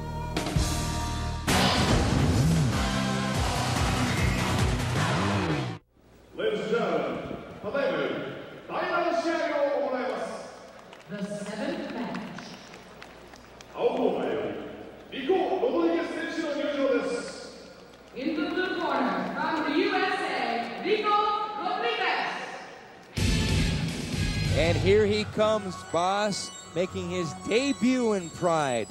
Rico Rodriguez from the United States, born in San Jose, California. He currently resides in Phoenix, Arizona, where he trains intensely with World Submission Wrestling Champion Mark Kerr. And here he comes. He looks focused. One of the best on the ground. Yes, of course, it's coming from the Machado brothers. These guys are really good. But his opponent from Canada, the king of the one punch knockouts, Big Daddy, Gary Goodridge. entertaining as ever. This guy loves the crowd. He's great, man. He's a huge star here in Japan. Our sixth bout of the evening sees a returning Gary Big Daddy Goodrich, who was 34 years old at the time and had a record of 10 and 10. He's facing off against newcomer Rico Rodriguez from the USA, who was. You're happy over the USA? No, I'm happy about Gary, man. Oh. I'm always happy about Gary. who was 22 years old at the time and had a record of 5 and 1. Hot, young prospect that's hot, comma, young. Rico Rodriguez enters Pride and has a very tough Oh, test. no, one second, because I want to point out just how fucking creepily you just said hot. Like ridiculously creepy. Like like like you want to make sweet sweet love to this man. He's a- that's that's that's how you just said hot. He's a good looking guy. I'll I'll I'll admit that. Oh, where was I? He enters Pride and has a very tough task in front of him in Big Daddy. But just who is this Mexican muchacho? Born in San Jose, California, Rico began training Brazilian Jiu Jitsu with the Machado brothers Rigan and Jean Jacques. In 1997, he grappled at the Brazilian Jiu Jitsu World Championships, taking the blue belt absolute title. In 1998, he took gold in the 99 plus kilo division at the Abu Dhabi Combat Club World Championships. Abu Dhabi, always fun. But in 1999, he was only able to garner bronze, albeit that time in the absolute division, also known as the openweight division. He did pick up a victory in the 1999 ADCC against Murillo Bustamante, future Pride fighter. A month after ADCC 1999, Rico made his MMA debut at Extreme Cage in Phoenix, Arizona, where he won a three round decision against a rather unknown opponent. Later that evening, he armbarred a second no-name opponent at nearly five. Rico spent the rest of 1999. Rico spent the rest of 1999 fighting around small regional promotions, including one named Armageddon. He only lost once in that time to Bobby Hoffman at Super Brawl 13 in September of 1999. A few months before Pride 9, he submitted Travis Fulton at King of the Cage 2, Desert Storm, in the first round via armbar. We'll never see Travis Fulton in Pride, but he has a very interesting story. He's an absolute MMA fighting whore. I'm Travis Fulton. I'll be fighting tonight. My style is uh, jiu-jitsu and wrestling, and I'm just going to have to uh, take him down and pound him to win. Get this, fans. Fulton has fought over 300 times as of May 2016. Jesus. While also boxing 52 times. His MMA record stands at 253, 51, 10, and 1 no contest. But the majority of his fights can't be considered pro caliber competition. Still, it's on fucking believable. Epic fucking music from Pride for both men in the pre fight interviews. The guitar strum for Gary Goodridge is very familiar, but I can't seem to place it. It's obviously a ripoff of something else. Rico's music, absolutely fucking amazing. I love it. It's so good, and I wish I could get uh, pure copies of them without the talking over them. That would be awesome. Big Daddy really let us know how much he loves punching and not being charged for it, as in arrested. Classic. Big Daddy also tells us he's going to mess up Rico's good looking face. Yeah, I, I, I like that uh, because Gary's like, hey, you know, um, it's a shame he's so good looking. Yeah. Because you know I'm gonna have to mess up that face. Holy shit, Rico has no fucking neck whatsoever. Yeah, that fucker's huge, dude. Rico has a rather mundane walkout to the ring, getting leftover Mark Coleman's entrance music. As for Big Daddy, yes, he's fucking nuts, but we love it. Quadro states that Rico Rodriguez is the current heavyweight champ for King of the Cage, but I don't think that's true for the time. He never fought for the championship, at least according to Wikipedia. Maybe Rico told them that he was the champ just to garner brownie points. Bas says he's nervous for this fight. Oh my God. This is going to be exciting, guys. I'm nervous for this fight. Can you believe it? So am I. He's definitely thinking there's going to be fireworks. Well, let's find out. And, and really, I mean, Rico is fucking huge. Yeah, I, I Like, can't believe the holy size of his. I can't believe the size of his neck. It's unbelievable. I know, like, holy crap. Round one, we. Oh, I was going to say Rico. Rico opens up the bout with a leg kick thrown from a mile away, easy to spot, and Goodrich just eats it. Rico faints a lot, and just to show that he can do that too, Goodrich throws an uppercut at nothing, literally nothing. Rico dives in for Goodrich's leg, and Gary sprawls, getting a front headlock on Rico. The men then stand. Either Rico has bad knees or he's planning to spend a lot of time on his knees, since both knees have sleeve braces on them. Errant 1 2 by Rico. Lunging right straight by Rico that just grazes Goodrich. But I want to I want to point out he has those things over his knees, and then ten seconds into the fight, he's already having to fucking fix them. He's he's only 23. Uh, uh, Does he have fucking bad knees already? Because those are uh, I want to say those are like knee wraps. Those Yeah. are knee braces. I mean, Yeah. they are they're the the rubber sleeve braces, but they're still there to kind of hold your kneecap in place. Mm-hmm. It makes no fucking sense. He's 23 years old. It does not make any sense. Holy shit, bad shoot by Rico. It was like from five miles away and had no chance whatsoever of succeeding. Rico then sends in one of the slowest, albeit nicely executed spinning back kicks I have ever seen in my life. He obviously spent more time working on the form than the speed of it. It got Quadros really excited, and because the crowd is dead silence, you could hear his voice echo through the stadium. Pretty awesome. Troll again. Another shoot by Rico. Oh, back kick by Spinning. Where did that come? On Whoa, delivery, Who would have actually hit thought that? That was a good shot. It, wa- it didn't have uh, a great deal of power, but it was right on the button. Right on the liver, as you said, Bas. The men exchange tapping punches and then another low kick by Rico. Rico jabs twice, using them to set up a takedown attempt. Now he's getting it, but Goodrich sprawls and they are up against the ropes. Goodrich pushes out of Rico's grasp and then slugs him. Big right by Rico that doesn't connect. Goodrich hasn't thrown a punch in about one minute. When he finally does pull the trigger, Rico shoots in, gets the legs, and takes Goodrich down to the mat. Rico is in Goodrich's open guard. Rico then advances to half guard. He works body punches and attempts to pass again. Five minutes passed in round one, and Rico lands some more strikes as he postures up for a moment. Goodridge raises up and bitch smacks Rico. Rico gives him one back. Riri, what the what the fuck happened here? Riri, co, coco. It's all fucked up. Rico paws at Goodridge and like a klutz, he slaps Goodridge right in the junk.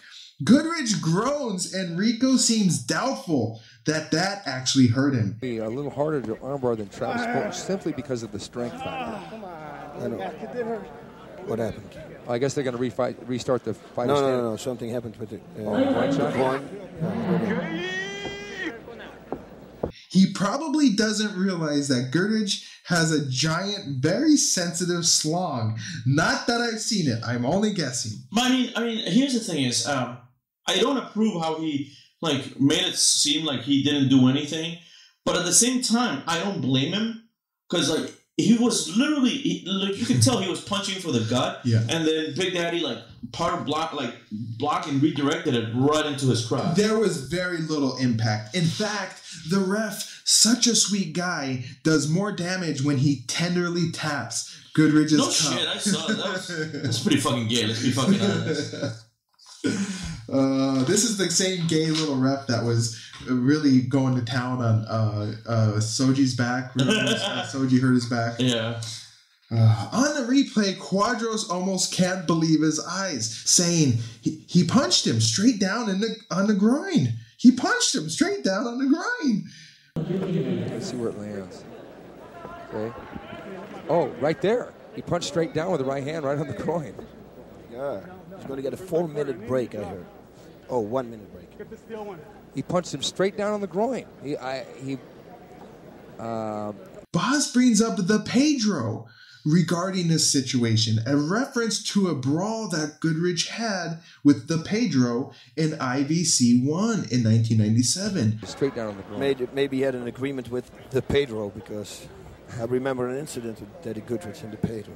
This barn burner of a bare knuckle, headbutt filled bout saw both men toying with each other's groins in various manner, but Goodrich took it to a whole another level, with Goodrich putting his whole foot right through the trunks of the Pedro at one moment, and then later putting his whole hand down into the Pedro's trunks and doing something mysterious. He was then able to end the fight with a pretty good uppercut.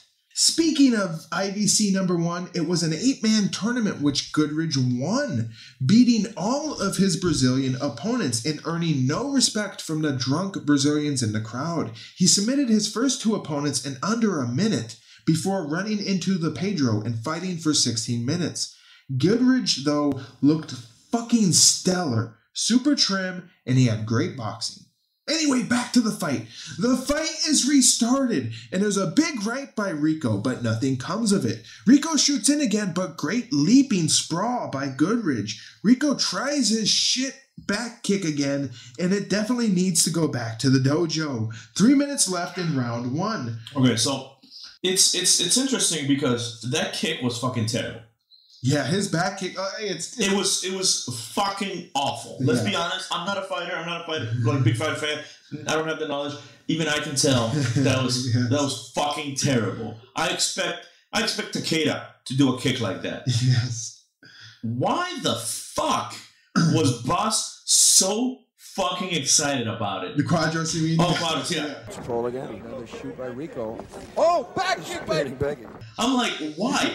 Why are you this fucking excited about the a shittiest spinning kick? back kick. Yeah. Oh my god! I was like, no, no, no! Don't be excited about this piece of shit. dude. Yeah.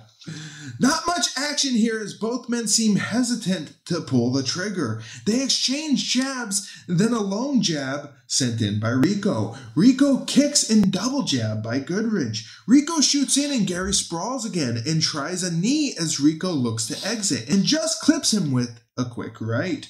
Rico decides to shoot in again and he just can't get Goodridge down. Big Daddy wraps up Rico's neck and goes for a guillotine choke, but Rico heaves Goodridge up and slams him down, I falling mean- into side guard. He shoots again. Gary with that uh, front guillotine choke. I don't know if that's smart. Uh, a nice little slam there by Rico. Picking That was that was impressive, and, and and not only that, but my question is this: How beneficial is, is it to do that? Because you're burning up a lot of your en- energy, a lot of your stamina, trying to lift up someone as heavy as Gary Goodridge. Yeah. Because like it, it wasn't a trip. It wasn't like a judo trip. No. He literally fucking lifted him lifted him up. Yeah, I would say it's a quick burst of energy, and it's it's a lot less wearing down than if you're gr- trying to grind against somebody and you're struggling for the takedown. Yeah. that's going to burn you out more than getting that quick explosion, take them down. Okay, I was curious about that because to me it seemed like too much work. Yeah, but how quick it was, it, it, it was it, almost anybody like in that position, you can quickly explode out and not burn a whole lot. Rico then hops into mount, but there's only one minute left now. Rico with light punches and then he peeks to his corner for advice. But before he can get anything off, the bell rings, ending round one. Bas seems to have a stroke during the round break with utterly no reaction from Quadros. I don't know how to score this. Oh, I'm glad not to be judge. Mark Kerr is seen once again in the corner, but this time for Rico. Rico would later join the Takada Dojo. Why? Why would the fuck would you? No, no, whoa, whoa, whoa, whoa, whoa, whoa.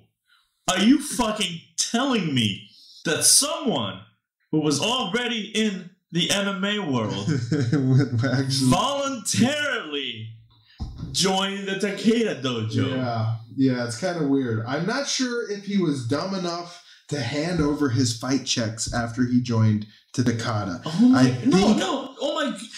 Ha- Has he not seen Pride? Has he not watched any Pride fights ever? Like literally, why? Like, eh, what like can you learn from Takada? I mean, what would you be able to learn? but you not would, you'd be able to learn from Sakuraba. that's what I was gonna say. It should be called Sakuraba Dojo. Exactly, but that's the thing is, if you're joining the Takada Jo- Dojo, it's only to hang out with Sakuraba. Yeah. Because it's not gonna be fucking uh, Takada. No, no, you can learn from him how to Well, fucking do need sensibly. Yeah, exactly. You can. It's um, another fucking little piece of shit that you can learn nothing about. My God, why the fuck? No, no, no. This is gonna be like a fucking ten minute rant right now because why the fuck would anybody actually spend any fucking time actually going there? Holy shit! No. Oh my God. Okay, so It's gonna say five minutes later. listeners, listeners, I want you. This is the conclusion. this pride has literally hurt my heart. Oh, fuck. First, I find out Shoji fucking went to get the work. A fucking piece of shit guy.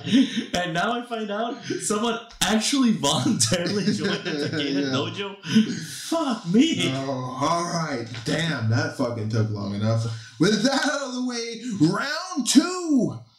Non committed leg kick by Rico, then a jab, and then a real leg kick to which Goodridge counters. Rico reels back and shoots in, and although Goodridge sprawls, Rico grabs a hold of a leg and then manages to put Goodridge down. He's in half guard. Some body punches by Rico, but not sure how much Gary is actually feeling them.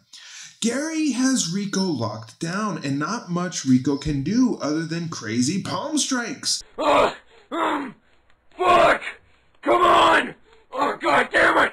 Ah! Do you think you're better than me? How dare you! Fuck you! You piece of shit! More solid palm strikes from Rico. Bas describes the sound that these strikes cause on the air. It's very annoying. Rico steps over for maybe a knee bar, but Goodridge defends it with his own possible leg lock. Rico is extended here and smacks Goodridge right in the schnoz. Goodridge lets go and Rico gets full mount. He goes back to working Goodridge's body.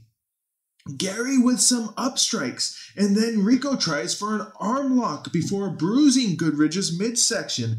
Rico nearly gives Goodridge a chance at an arm triangle, and Goodridge gets Rico first to half guard, then down into full mount. Five minutes left in round two.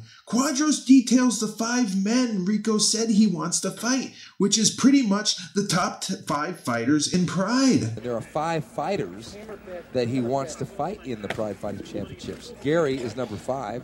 He also wants to fight Igor Vovchanchyn, Mark Coleman, Kazushi Sakuraba, believe it or not, he mentioned Mark Kerr. Lots of small strikes from both men, and Rico playfully paws at Goodridge's stomach. Rico is locked up again and he smacks Goodridge more before being released, and he punches all over Goodridge's body. He seems to be focused on staying busy, but not going for the kill, likely to just eke out a win here. Three minutes left in round two. Double palm strikes again by Rico, and then more hammering strikes to the body and chest of Goodridge. Rico keeps up with the punching, and Goodridge seems stuck here with not much of an outlet to get up. I mean, at, at this point, I'm having flashbacks to uh, the Pride before the tournament. Uh, Pride 8? Yeah, when was it? Was that the no? Where, Go- wasn't it. where Goodridge uh, fought, uh, you talking about the Japanese guy? He, he, well, I can't remember who he fought, but it was the one where uh, Big Daddy Goodrich was just laying down, and the other guy was hitting him, and he's like, "Hit me, hit me, kick me." Oh, Eric, uh, Tom Erikson. Yeah, yeah, and and that's the thing is, it reminds you of that because yes, the hits aren't affecting Gary, but Gary's not doing jack shit. Right. No. Yeah, eh, this is very reminiscent of the Tom Erikson fight. Uh, Quadros, for his part, says it's a problem of timing for Goodridge. One minute left, and the ref calls for fight. Fight. Rico postures up and tries the punch. This keeps up, repeating until Goodridge simply lets Rico squish his head with downward palm strikes. And then the bell rings, ending round two. We'll head over to the judges to find out our results, which is. Cross training is the thing. And here he is, Rico Rodriguez getting the unanimous decision over Gary Big Daddy Goodrich. Rico Rodriguez in an upset, winner via decision after two rounds of fighting. Rico does a handstand just to show off. Yeah. He's a good looking kid. But that was an impre- fucking impressive pass. Yes. fuck that shit. And then he gets familiar with the ring girl, who is either extremely excited or scared shitless. I would go with the second one. Yes. And with that, we're off to the next fight. Good vibe, thoughts on Rico versus Goodridge. Okay, at the beginning, the beginning of the fight was was the most interesting part for me for two reasons. One, Rico was actually holding up, like standing up combat against Gary. Mm-hmm. But the part that really threw me off for a loop, Gary was actually not being the starter. Like he was waiting for the counter. Yeah. That's that's to me not so much not so Gary. Like you know, for me, Gary is the one, the initiator, especially when it comes to striking. But in this fight, you know, you could tell, and, and I, and, I mean, even Bas and Quadro mentioned it because you could tell Gary was waiting for you know Rico to initiate because he was even putting his hands down, like, "Hey, come at me, and I'll counter it." And it, it was just just fucking weird seeing that from Gary. Yeah, here's uh, Goodrich has a problem with wrestlers. Uh, he had a big problem with Tom Erikson. Ogawa, who was a legitimate amateur wrestler too, he had problems with Ogawa. Uh, and Rico has the fucking neck of a wrestler. And so I think Goodridge was hesitant to extend himself, knowing that Rico would, would try and take him down. Obviously, Goodridge was waiting for the shoot. he his sprawls were definitely on point. Oh my god, no, that was amazing. Like that, fu- that, that, one was, leaping sprawl where he did where he he had to jump back his sprawl was perfect in the first round and then i think he got tired and i think he got bored uh, i think he got tired of, of sprawling he just didn't want Yeah. to do it anymore And that's a, that's a big thing with Gary. Like you're right, is if he gets bored of a fight, you can tell because he'll start just doing the most asinine things ever. yeah i was a bit overall with the a bit disappointed overall with the fight uh, but thankfully the the round structure right now of pride the two ten minutes and they'll make it uh, slightly better um the two ten minutes keeps it interesting enough to where I'm not bored and wanting to fast forward. So that's good here, fight fans. So, what would become of our two plump punchers here? Both men would return at Pride 10, Return of the Warriors, where Gary Goodridge would take on Gilbert Yvel, a man we'll see later, while Rico would take on Giant Ochiai, also known as Takayuki Okada. See you then, boys!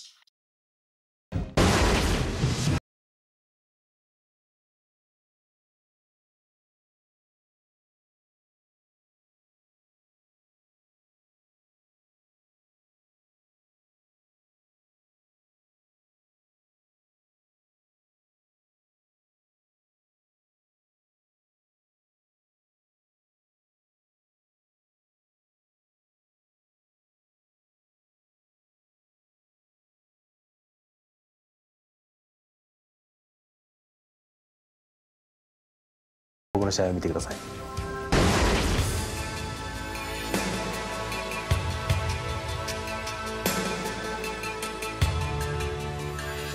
Ну, в принципе, я за месяц успел отдохнуть. Чувствую себя очень прекрасно. Постараюсь выиграть в этот раз. Этот турнир. Как именно точно не могу сказать, но постараюсь его выиграть как можно лучше. То есть, э, как, публика осталась. А пускай посмотрят, все решится в процессе боя.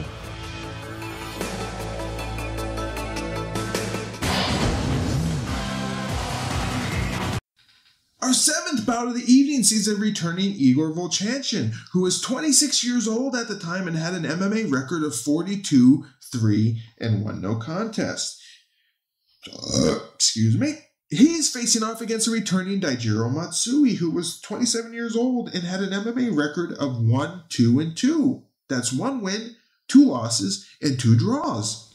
We last saw Igor fall to Mark Coleman in the finals of the 2000 Grand Prix after a long night of fighting, so it's surprising he's back so soon. Meanwhile, we last saw Daijiro Matsui at Pride 8, where he fought Vanderlei Silva all the way to the judges, who then decided against him despite his efforts. Quadro states that Matsui has at least a survivor's chance against Igor, but doubts he has the guns to give Vovchanchyn any trouble. Draw against Akira Shoji. So if he, he went the distance with those guys, then he has got at least a survivor's chance in this one. But I don't know that he's got the guns to give Vovchanchyn trouble. I agree. Yes, so do I. We see Takada in Matsui's corner, and he seems to be looking for Matsui's fight check. Fuck you, Takada. Round one, Matsui fakes a shoot, not once, not twice, but thrice. Matsui finally shoots in, and Igor sprawls, and Igor spins to get Matsui's back. Igor then lays down some leather.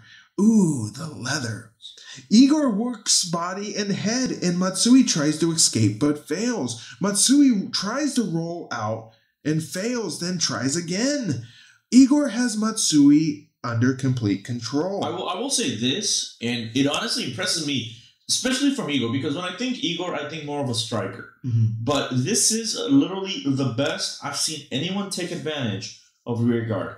Yeah, and, Ever. And this is probably this is kind of an unfair matchup in terms of weight. Well, yeah, and, I- and, I- and I get that. Igor Igor is using his weight expertly to hold Matsui exactly where he wants him to enforce his will. Yeah, but that's the thing is even even then it's just so impressive how he's actually because you know we've seen fights before where people are in rear guard and Yeah. Sakuraba gave up back guard a lot, but he wasn't worried at all. of the other Exactly, and, and that's and that's the main thing is because the other guy never did much. Igor fucking exploded on fuck uh, just just punching him, and then and then like Bas and Quad were mentioning, it's like you can't tell where the punches are coming from. Right. Yeah. So that's that's an Matsui amazing- has no chance yeah, to defend. That's an amazing fucking position to have, and it's just like it was fucking impressive. I, that's pretty much it. Man. Yeah.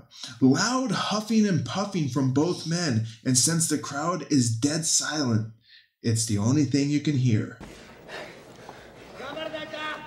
A hard left from Igor onto Matsui's exposed face. Then Igor smacks the ropes inadvertently. We're in the corner under the ropes, and the refs halt the fighters to move them. And we see Matsui's concerned cornermen, Takada and Sakuraba. Bas talks about the size of Igor's hand. Once again, he's brought this up before. If you shake his hand, Igor's hand, it's like a break. This guy had such a big hand, it's unbelievable. He talked about this back in the Grand Prix, and then he says he's a bigger version of Akira Shoji. The bigger version of Akira Shoji. Bas, what is it? I thought Shoji was a smaller version of Vovchanchyn. Now, uh, Igor's just a bigger version of Shoji. It's got to be one or the other. Matsui complains about something after the restart. Certainly, we're in the corner. Under here's Matsui is cut. Quadro says he doesn't see a scenario where Matsui can win this fight. The fighting style is really similar. Okay, uh, looks like Matsui is starting to bleed. Oh, he's bleeding good. He's bleeding really good. Yeah, that's a bad cut. Oh, bad cut. I don't know that they're gonna be able to uh, patch it up enough. It's pretty bad. I don't know if it's directly over the eye. If it's over the eye, they might have to stop the fight. Oh, that's bleeding bad. It's bleeding real hard.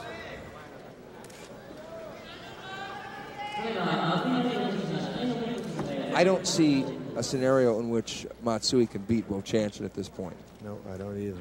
Matsui's cut is right on the corner of his eyebrow, a little above the right eye. Apparently, at first, it's okay enough for Matsui to continue, and then we go to reset the position, to which the crowd is besides themselves, groaning. Well, well, it's There was some discussion cut is there. okay. I'm, I'm, I just looked at it. Okay, so They he's going to go. Yes, he's- he's going to go some more. Matsui is not a quitter. Oh, oh my oh, God. This is not. You know, it's- they just stand and restart. That's right, folks. This is going to continue from where they left off. Matsui flips over and Igor is now in side control, and at least Matsui can now see the punches coming. Igor's face is strewn with Matsui's blood as small puddles develop on the mat.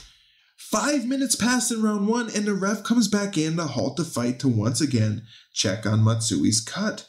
The doctor apparently has told Matsui some unwanted news, and Matsui simply goes back out to continue fighting. But the ref is waving off the fight. The bell rings, and Matsui smacks the ring with frustration.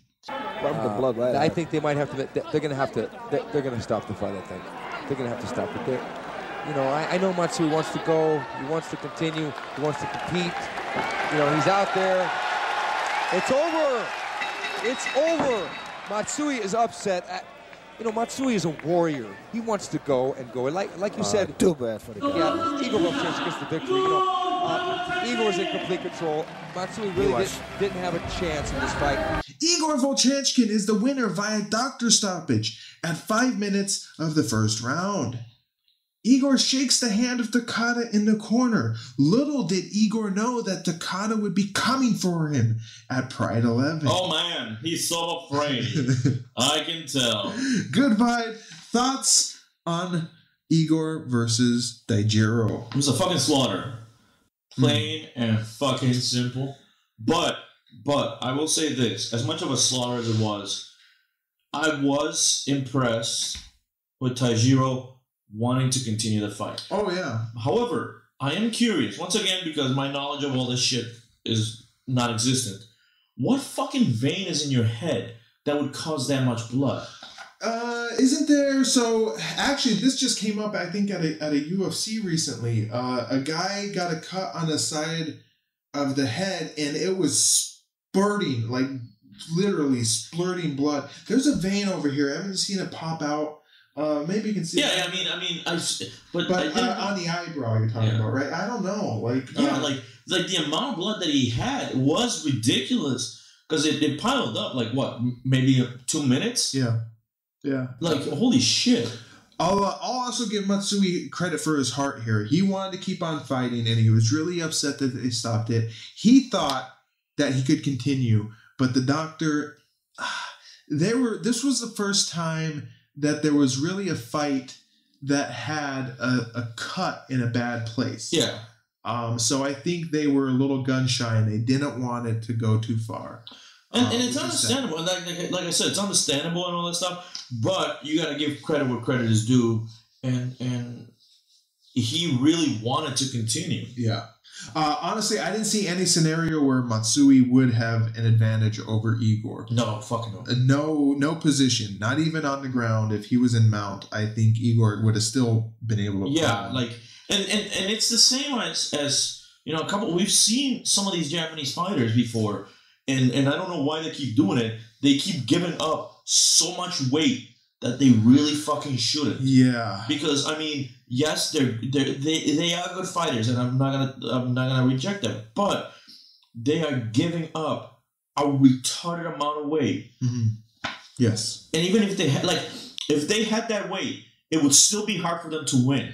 And then they give up that weight, so they just make it that much worse Right. This them. is like Takada versus Kerr. Even if Takada was also 250 pounds, Kerr would have still manslaughter the fuck out of yes, yes. But Takada was 200 and 205 pounds maybe, and Kerr was 250. Uh, yeah, you're right. There's no chance for these uh, smaller Japanese guys to go up against these heavyweights. No, there isn't, and, and it's and it's a shame that they keep trying. They should because they are good fighters, and and they honestly should get their chance, their their shot, and they're fucking ruining it by giving up that much fucking weight to great fighters. I mean, give up give up that weight to Manny. You know, Yeah. that's the thing. If you're gonna do that, do that to someone you hold a chance. Don't give your weight up to someone like fucking Who's Coleman, just as fast. to someone as fucking Kerr, and to someone like fucking Igor. Don't Yeah. fucking do that. That's just fucking stupid. So, what would become of our two masculine man meters here? Did I say that? Ah, that was fucking weird that you said that. So, what would become of our two masculine meat masters here? That's even worse. no, yeah, no, man eaters is definitely worse. Uh, Igor Vovchanchyn would be listeners, which one is worse? Say the first one, masculine man meters. Or masculine meat masters. It's up to you. Please leave a comment. Which one do you think is worse? Igor Vovchanchyn would be back for Pride action at Pride 10, Return of the Warriors, where Enson Inoue will await him. That should be a good match. As for Daijiro, he too would return at Pride 10, taking on the sexiest man in MMA, Vitor Belfort, but not before stopping by California to fight in a King of the Cage event. But for you to find out what happened in that event, you'll have to tune in to the next episode. See you boys at Pride 10.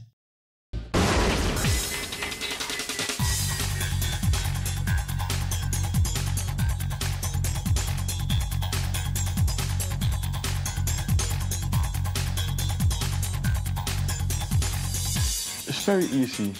The bell goes ring. Um, my fist, my hands going very fast against the opponent. My knees and my feet also. And then a few seconds later, there's a lot of blood and the enemy and the opponent is on the ground sleeping.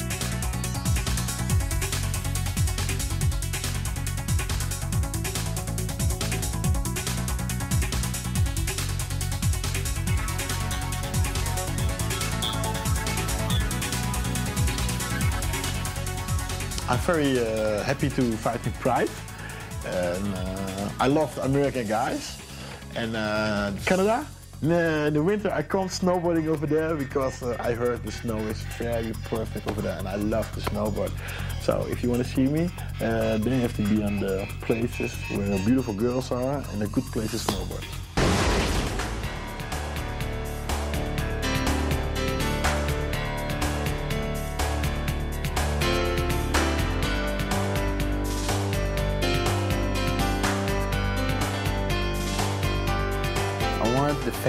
To to know about me as a human person. You know, I'm here to do my job and to make them feel, you know, comfortable and whatever they are, if they in the bar or they in the house or they in the, you know, a friend's house, you know, I'm here to make a good show and I want them to know I'm a human person. I have feelings, you know, I have good day, bad day, and hopefully Sunday, you know, can be a day, can be a good day for you fans to to love my work and hopefully you know I can come back you know again and do it again and let's see you know when I'm gonna stop fighting.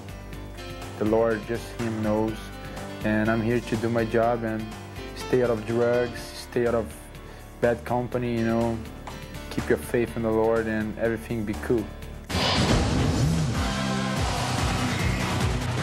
Our eighth bout of the evening and our main event features a returning Vitor Belfort, who was 23 years old at the time and had an MMA record of 6 and 2. He's facing off against newcomer Gilbert the Hurricane Yvel from the Netherlands, who was also 23 years old at the time and had an MMA record of 22 and 4.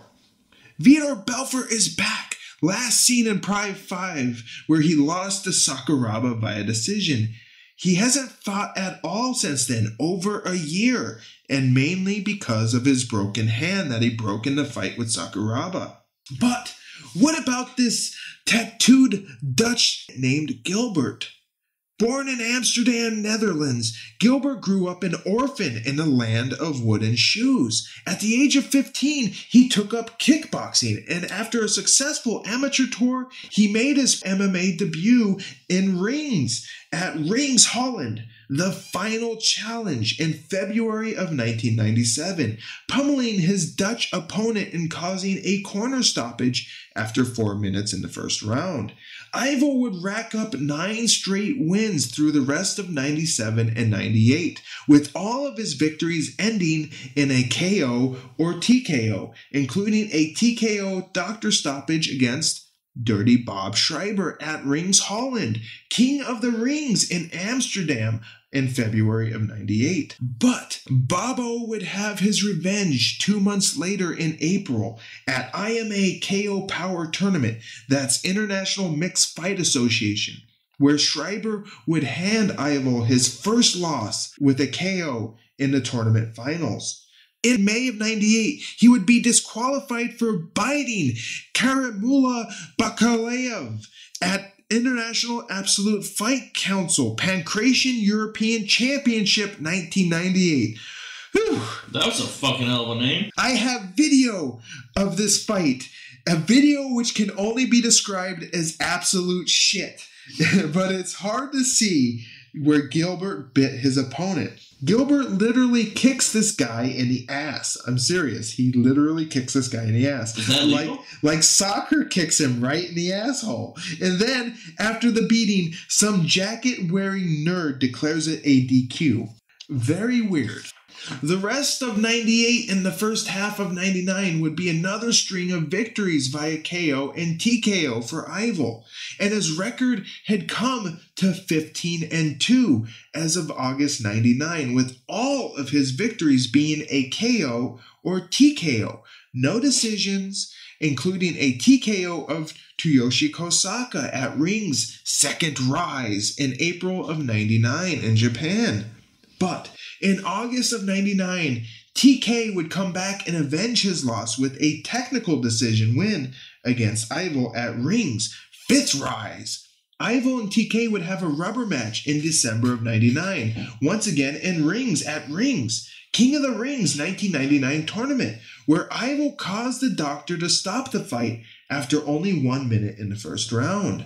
Ivo would make it to the quarterfinals of the King of Kings 1999 tournament, where in February of 2000 at the finals, he ran into Hollywood Dan Henderson. Henderson would defeat Ivo via decision after two rounds of fighting. Henderson, it must be noted, would proceed to win the whole tournament with two more decision victories that night. Right before Pride 9 here in April of 2000, Gilbert fought Kiyoshi Tamura, Japanese rings legend, who we'll get to see at Pride 19. That fight was for the Rings Openweight Championship, and Ivo would TKO Tamura after 13 minutes in the first round. Ivo would later vacate the title. And that brings us here to Pride 9. In his pre fight interview, Ivo says he loves American guys and the Canadian snow. And uh, I love American guys. And uh, He saves himself from being labeled a gay by mentioning something about beautiful girls. Places where beautiful girls are. Whew, that was that was a close one.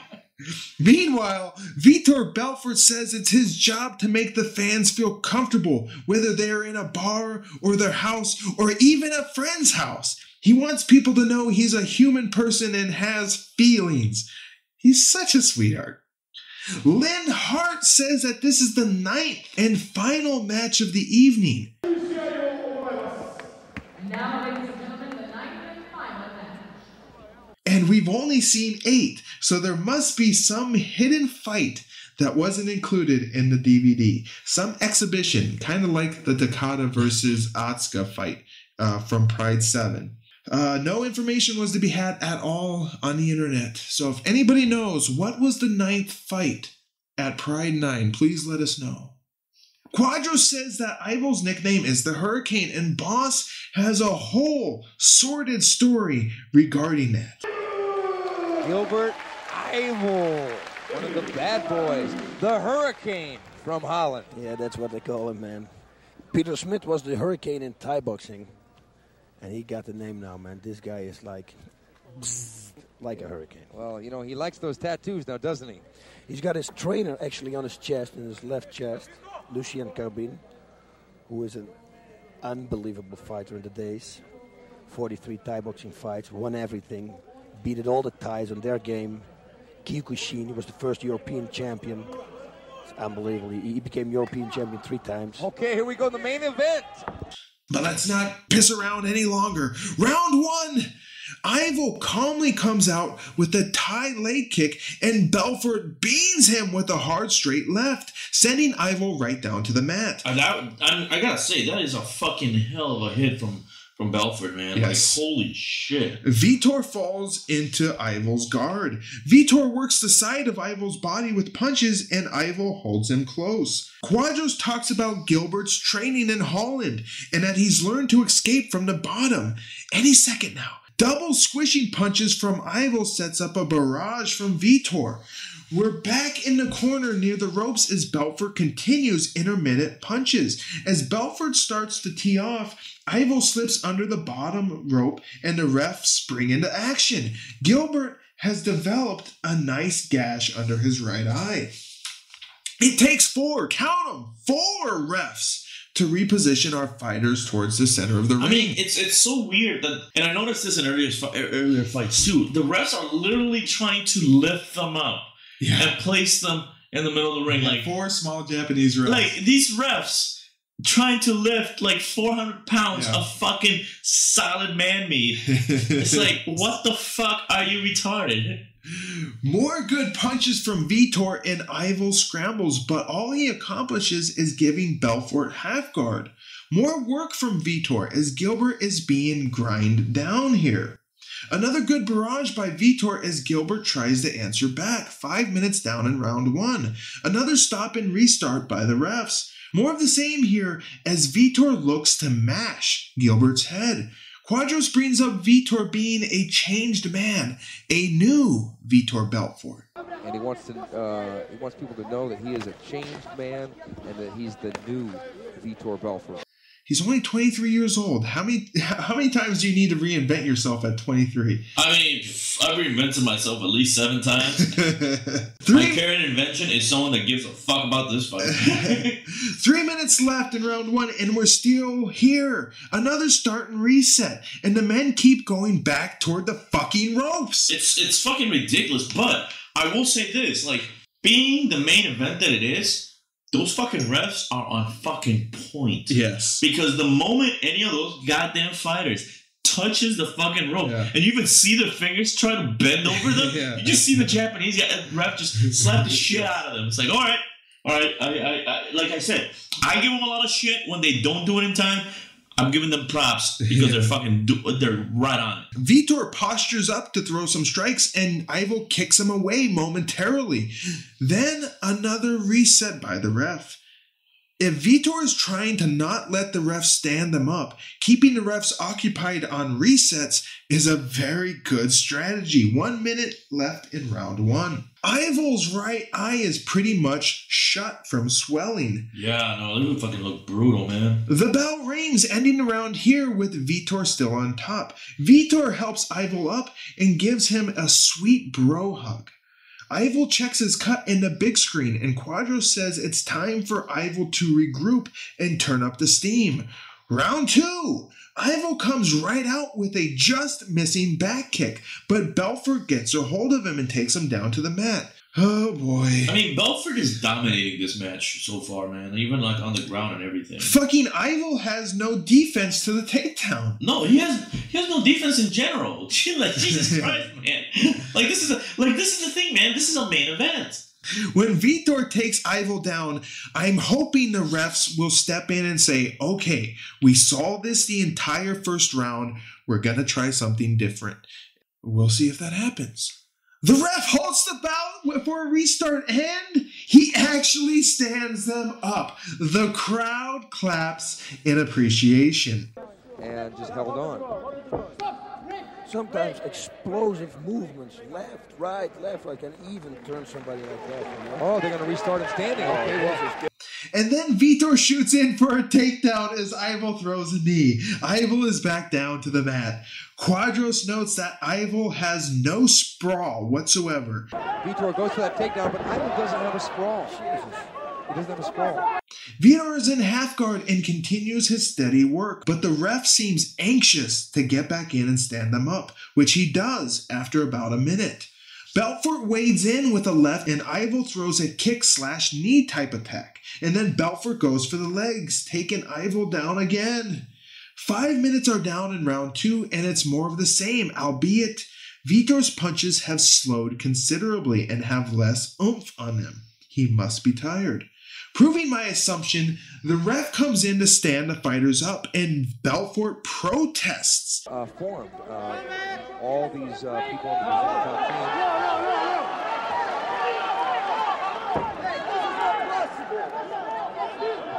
They're, having some controversy because they're a restart. Um, likely because he is becoming exhausted and he wants to stay on the ground. As shoot will be coming quick, methinks. Belfort swings with punches and Ivo tries to knee him, to which Belfort grabs his legs and takes him down. Bajos, uh, Bajos. Badros is that is that is that the, is, is that the like fucking uh, uh, out of wedlock child that they had that Bas and Quadros had? His name is fucking Badros. Jesus Christ! Badros, ba- Badros is going to become a thing. Bas, Quadros' name isn't even anywhere on here. Bas correctly says that what Vitor is doing isn't really staying busy. He's not really passing the guard and is just throwing small punches merely to do something. I believe the rule should be unless you are doing significant damage from the guard or are posturing up regularly and are not trying to pass, the fight should be stood. Yeah, it should, and, and it will definitely it would definitely make it a lot more interesting because I mean, but that's the thing is we've had a couple fights already where where the fighters should have been stood up. There's been a couple fights today where you know, yeah, they've done a little little bit of light work, but nothing that would bring this fight closer to an end. Yeah. People bitch about laying prey tactics, and this is laying parade. You're on top of the guy, you're down, you're just throwing little And punches. you're praying the refs don't interfere. Yes. uh, and people say, but that's a legitimate tactic uh, because he's better at holding the other guy down. You can't penalize him for that. Here's my rule I just said it. Unless you are trying to posture up and do damage, or unless you are trying to pass guard, the fight should be stood up. If you're just laying with your head down in the guy's chest, throwing little body punches, doesn't fucking see, count. See, for me, like the main thing about this is, and, and the reason I, I I like your rule, but the reason something should be done is not so much in the fighting part. It's the fact that this is a televised event. Yeah. and that's the thing. It's a pay-per-view. It's a pay per view. People are actually paying to watch it on TV, and like that's the thing is, it's not a cheap pay per view. Pay per views are never fucking cheap. No. So it's all about the show. Yes. People pay for a show. And like I said, and, and like I said, and like Bas and Quadro said, this is not a show. Mm. So if if one of those we got retarded amount of names that the most dangerous man alive today has read in people's history, Yeah. if they want to do that for those tournaments, I have no problem with that. But when you come to a pay per view, I expect you to realize that you need to be fucking It's putting a, on a show. one-off fight. You- yeah, exactly. Three minutes left in round two, and Belfort doesn't do a whole lot, but he stays active, I guess. And now we're down to one minute, and our awaited restart looks like it's not gonna come. The bell rings, ending round two, and likely our fight. We'll go to the judges now to learn the result, which is. Yeah, yeah. both of them actually, but yeah. Yeah, no question. Vitor Belfort, no question. Vitor Belfort is back. Vitor Belfort, winner via decision after two rounds of fighting. Vitor celebrates with his trophy, and Pride 9 has come to a close. Good vibe. What were your thoughts on Belfort versus Yvel? Uh, I mean, it's it's the same problem I've had with so many matches before. Great match. I liked it. it Bel- Belfort is amazing. It was too dominant of a match to be a main event. Yeah. It was like Yvel really didn't do much. Like I mean, No. he, had, he had a couple moves here and there, but overall, Belfort dominated the match entire way through both rounds. And and to me, once again, that does not make for a good show. Gilbert's mistake was when they were stood up, he tried to go for an attack that left him open to be taken down. Every fucking time you're standing. Exactly, that, that's what I'm saying is is he had no counter to Belfort, and Belfort dominated the fucking match. I was disappointed, I'll say this. Vitor played it really safe. He was coming off a year layoff from his broken hand against Sakuraba, so maybe that's why he did it. But as Pride will do in the future, they will penalize boring fighters by never bringing them back. I don't think Vitor at this point is in danger of that happening because he's still a really big name. I just think he's got to be careful with this fucking lay and pray bullshit. Yvel had no answers for B- uh, Vitor. Uh, he's got to get back in the gym and work on his fucking sprawl. Yeah, no, definitely, man, and and and that's the thing is is is it just wasn't wasn't a main main event fight. No. Give me this at the beginning of the of the card. I have no problem with it. Yes. So, what would become of our two hot young pugilists here? Both men would return to Pride at Pride 10, will, where Belfort will take on Daijiro Matsui and Yvel will take on Gary Goodridge. See you boys next episode. What were your overall thoughts on Pride 9? It's a step back. I will say this: we we just had this amazing Pride tournament with really good fights. I, I will say this before before I say any more bad things. One of the main things I am really happy about, and I really loved about this Pride, is that they fucking finally, finally made the rules the same for every fucking fight. Mm-hmm. So now you don't have any surprises, any surprise fucking like fourth rounds, or any surprise hour and a half fucking battles. I love that. I love that. But you had these fights in the tournament where all of like to me, most of the fights were active, we're we're great, we're engaging. Then you come back here and you come back to like at least three of them where it's nothing but like laying on the fucking ground, you know, making sweet, sweet love to each other. That's Yeah. that's pretty much all it fucking was. Yeah, this Pride is pretty forgettable. Um, it was a quick event because of the fixes to the round time. Uh, but the matchups fucking sucked. The matchups are where this event fell on its face. I mean, but even then, like some of the matchups that should have been great weren't. Yeah, they, they like, didn't I mean, pan I, like out. I mean, and, and and and to some of them, like I said, I blame the fighters. I once again, just like we did a few prides ago, I'm disappointed in Gary.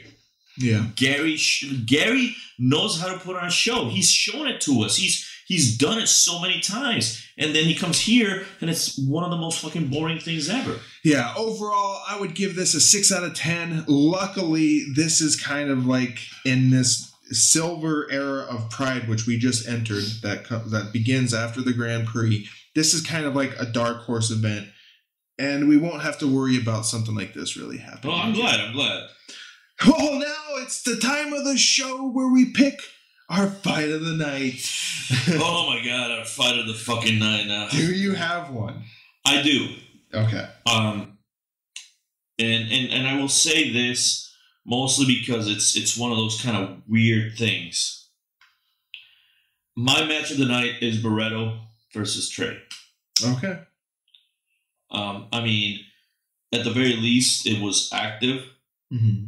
You know, there, there was movement, there was everything. I mean, none of the other matches either A lasted long enough or B. I was gonna say my match of the night, by the way, listeners, was gonna be the Shoji match, and then the most dangerous oh, man alive today just fucking ruined it for me. Oh, yeah, broke your heart. You broke my fucking heart. Broke my fucking heart, man. but no, so definitely out of all the matches, that to me was the one that that was not a complete slaughter on one side. Um, this is really hard for me, and not because the fights were all amazing. It's like, oh my god, which one do I pick? Um, I will say the best performance of the night goes to Heath Herring, uh, as you can't count Carlos Newton's performance fighting a warmed over corpse. Um, Willie Peeters was at least a potential threat and somebody who had won fights before. As for the best fight, I'm gonna go with Igor versus Matsui since there was a lot of emotion there from Matsui and it felt like it meant something. It did, it did, but once again, too quick of a fucking match for me. yeah. I mean, too much of a like. That's the thing. A great fight, but to me, and I'll say this again, it's about the show, and there is no show in a one-sided fucking slaughter. Yeah, yeah. And that brings us to the end of another exciting episode. Wow, what a show! The best yet. we'll be back in short order for Pride 10 Return of the Warriors. What Warriors are returning, you ask? Taking place on August 27th of 2000, Pride 10 will feature 10 bouts. How about that, fight fans? These bouts include Hold on, buddy. Vitor Belfort versus Daijiro Matsui. Vanderlei Silva versus Guy Mezger. Ricco Rodriguez versus Takayuki Okada. Gilbert Yvel versus Gary Goodridge. Mark Kerr returns facing off against Igor Borisov. Igor Vovchanchyn versus Enson Inoue. Masaaki Satake versus Kazunari Murakami. Remember this the shit from Pride 1? Kazuyuki Fujita versus Ken Shamrock. Ryan Gracie, a new Gracie versus Tokimitsu Ishikawa. And finally, Kazushi Sakuraba will take on Renzo Gracie. Listen, you think this is bad 10 fights? You want to know what's great about Pride 10? Uh, Out of the 10 fights, only two go into the second round. Well, I mean, Mean, here's the thing: is I, I'll give you this: ten fights doesn't sound terrible now. Every time during the first few prides, when you told me, oh, it's only a couple fucking fights, and each fight ended up being like fucking half hour, forty five minute fucking snooze fest. That is when I was pissed off at you. These these fights, like for example, this Pride. Yes, there was a couple boring matches, but they went through and they went through quickly and uh, like I mean, yeah, twenty minutes. Twenty minutes. Well, not not the worst thing ever. Uh, Pride 10 is probably just going to be is going to be about as quick because again, only two fights go into the second round, and then out of those two, only one goes to decision. Okay. So, by the way, listeners, if you want to know how bored I was during these fights, um, I'm gonna I'm gonna li- I'm gonna give the most dangerous man alive a link, and I took a screenshot of the two monitors I use, and you will see my Oh, for watching this fight. Oh, I know what's going to be on that. Until then, fight fans, we must bid you adieu. So, for the Colombian good vibe, woo, the machine who's somewhere out there, I am the most dangerous man alive today, and I wish you goodbye, good luck, and we'll sniff you fucking jerks later.